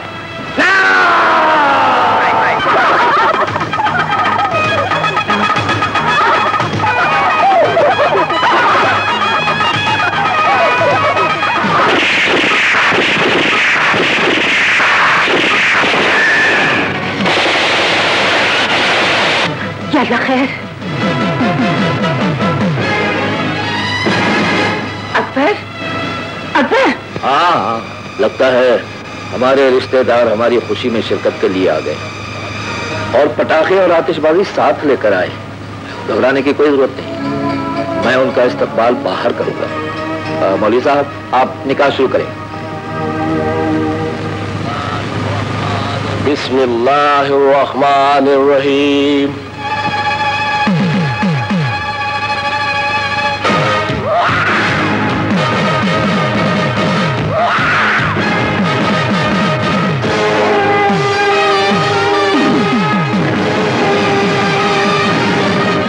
बिस्मिल्लाह बिस्मिल्लाह हमारे समझी आए हैं। खुश आमदेद बड़े सही वक्त पर आए हो। निकाह शुरू हो चुका है और रोटी लगने वाली है। तेरी रोटी और तेरी लाश को आज गाँव के कुत्ते बिल्लियों ने खाना है। कुत्ते बिल्ली का ब्याह नहीं बेटी का ब्याह है। कुछ शर्म करो शर्म करो! हमने बेटी को भी खत्म कर देना है और उस कमीने भांजे को भी जिसने हमारा दामाद बनने का ख्वाब देखा है। सायरा का बाजू हमारे हाथ पकड़ा दे अकबर। नहीं तो आज इस गाँव में लाशों के ढेर लग जाएँगे। इस खुशी के मौके पर खून और जंगो जदल की बातें कुछ अच्छी नहीं लगती। आज यहाँ दावत का इंतज़ाम भी है और भौंकने वाले कुत्तों के लिए कुचले का भी पूरा पूरा इंतज़ाम किया हुआ है। अपनी गेंडे जैसी गर्दने चारों तरफ़ घुमाकर एक नज़र तो मार लो।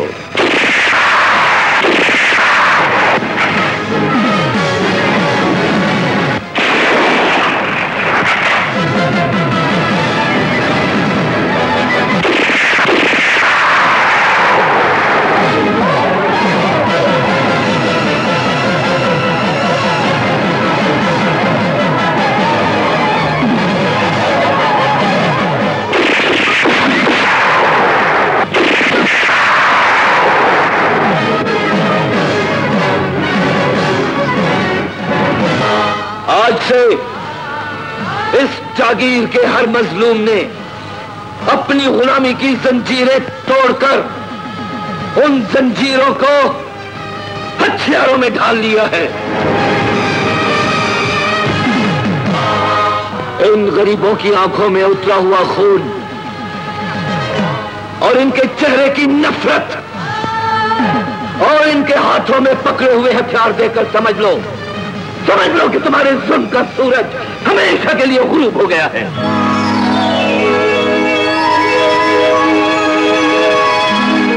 मुबारक हो भैया निकाह हो गया है।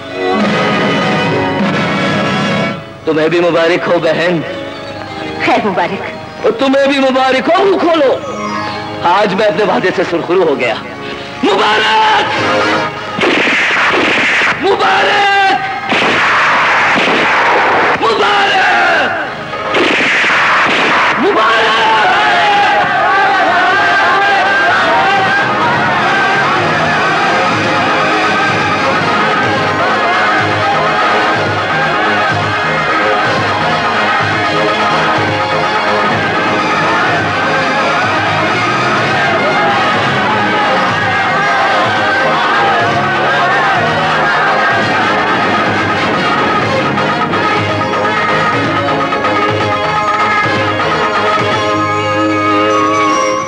जिद छोड़ दो भाइयों। तुमने तो सारी ज़िंदगी देवा बहन की झोली में नफरत के सिवा कुछ नहीं डाला। मगर मैं वादा करती हूँ कि अपने हिस्से की खुशियाँ भी तुम्हारी बेटी की झोली में डाल दूँगी। लो मुँह मीठा कर लो। नहीं भैया नहीं नहीं।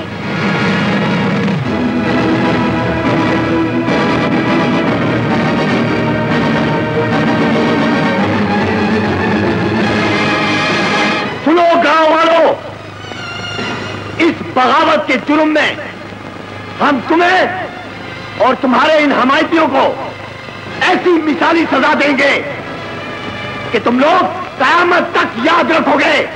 चलो!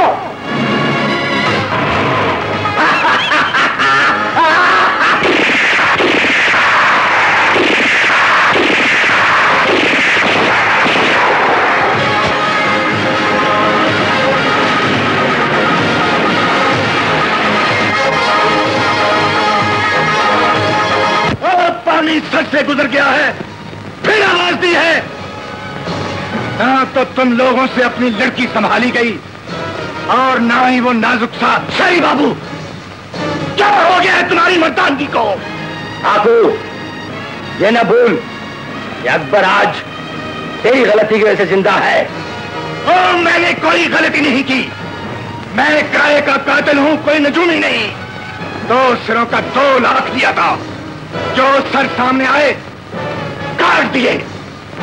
तुम भी न भूलो इस दो करोड़ की जागीर का मालिक तुम्हें मैंने बनाया था। पिछली बातें छोड़ो हाकू।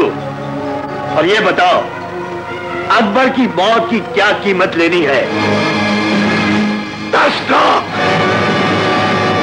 दस लाख? दस लाख? ये सिर्फ़ अकबर की जान की कीमत नहीं तुम्हारी बेटी बहन और इन पाँचों जोशीलों की जान की कीमत है जो तुम्हारे इकतदार और दहशत के लिए खतरा बन गए हैं। मगर हाकू? इस दस लाख के बदले मैं तुम्हारी जागीर के लोगों के लिए तबाही और बर्बादी के ऐसे निशान छोड़ चाहूँगा जो दस लाख साल तक लोग तुम्हारा नाम लेकर अपने बच्चों को डराएँगे। काम मेरा होगा और नाम तुम्हारा। बोलो। मंजूर है। हमें मंजूर है।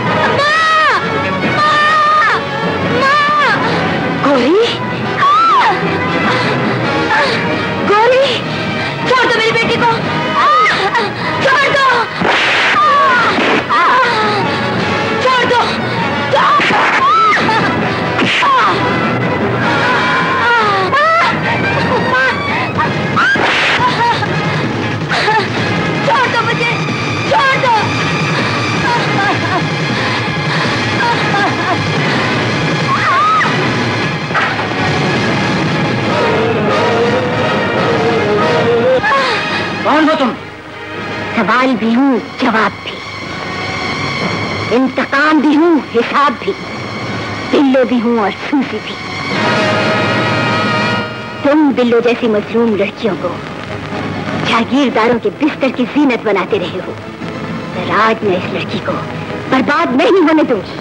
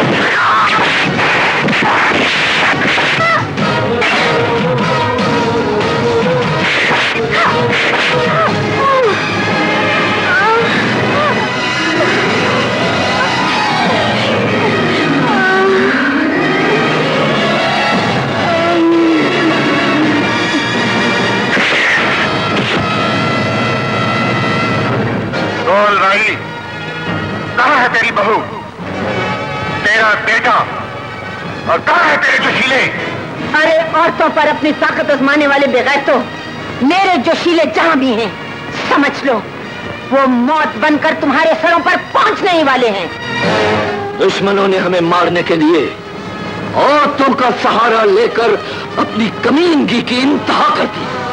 और अब कल का सूर्य डूबने से पहले हम एक एक दुश्मन को तबाह कर देंगे। आज तुम्हारा यौम हिसाब है। और आज ही सारे खाते खुलेंगे। खाते तुमने खोले हैं जागीरदारों मगर इनको बंद तुम्हारी मौत करेगी। हमारी मौत कौन बनेगा? तेरा भाई या तेरा यार? तेरी ज़िंदगी का मालिक या हमारा गुलाम? तेरा बेटा या हमारा तेरा भाई? इनके बाजू हमने आजमाए हुए हैं। अरे फिरौन बन के मौत का मैदान तो लगा लिया है। मगर ये ना भूलो। ज़िंदगी और मौत के फैसले का इख्तियार सिर्फ़ रब को है। रब उसके साथ होता है जीनत। इसके पास ताकत होती है। नहीं रे। रब उसके साथ होते हैं जिसके साथ कोई नहीं होता। मेरे रब ने तुम्हारी शैतानियत की रस्सी को जितनी ढील देनी थी दे दी है। आज वही रस्सी तुम्हारे गले का फंदा बन जाएगी। हमें मारने के लिए आवाज़ मार उन जोशीलों को। वो तुम्हें बचाने के लिए क्यों नहीं आते? बोल बिलो बोल। कहा चला गया? तुम्हें सूजी बनाकर नई ज़िंदगी देने वाला। बोलती क्यों नहीं? कहा है वो हमारे टुकड़ों पर पलने वाला गुलाम? तू बोल। कहा है तेरा बेटा? वो आता क्यों नहीं? मर गया है या तुम्हें मौत के मुँह में देखकर डर गया है?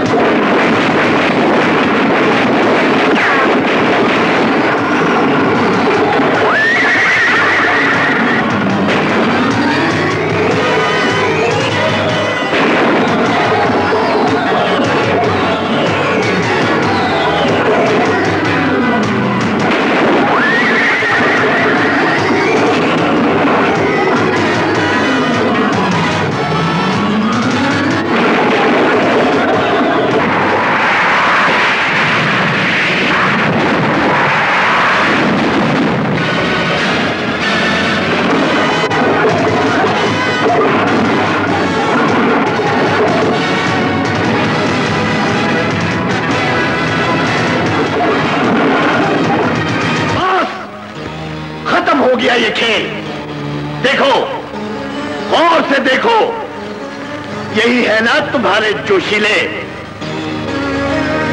बड़ा मान था तुम्हें इनकी बहादुरी पर।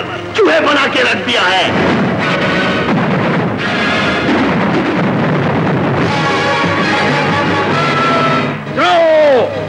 तुम्हारी मौत मेरे एक इशारे की मुंतजर है।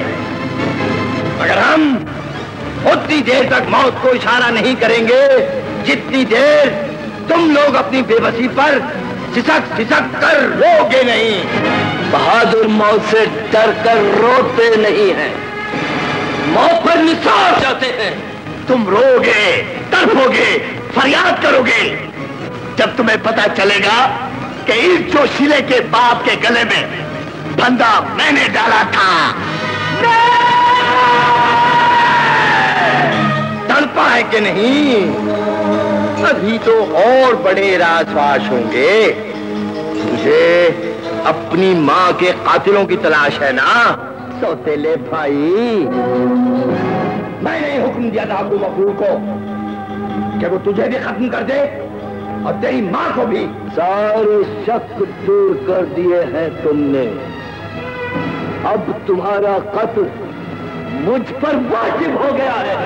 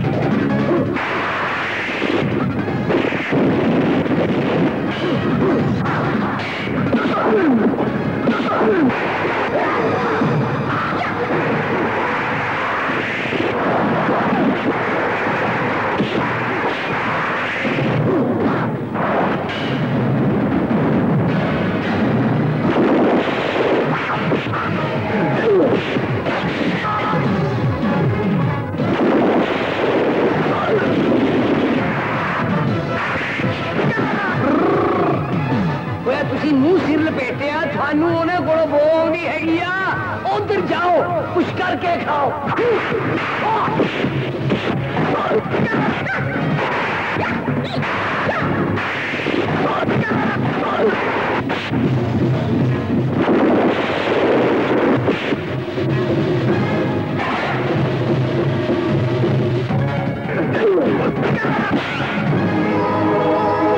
बिल्लो? भैया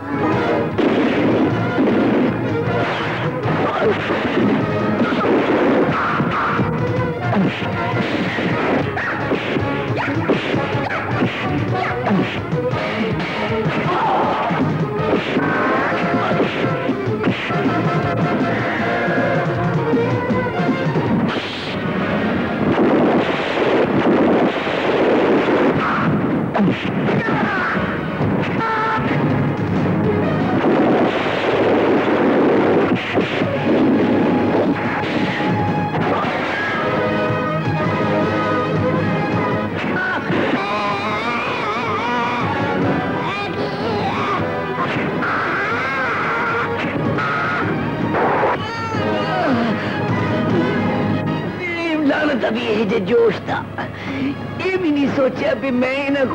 तनखा लैनी सी चलो मर जाने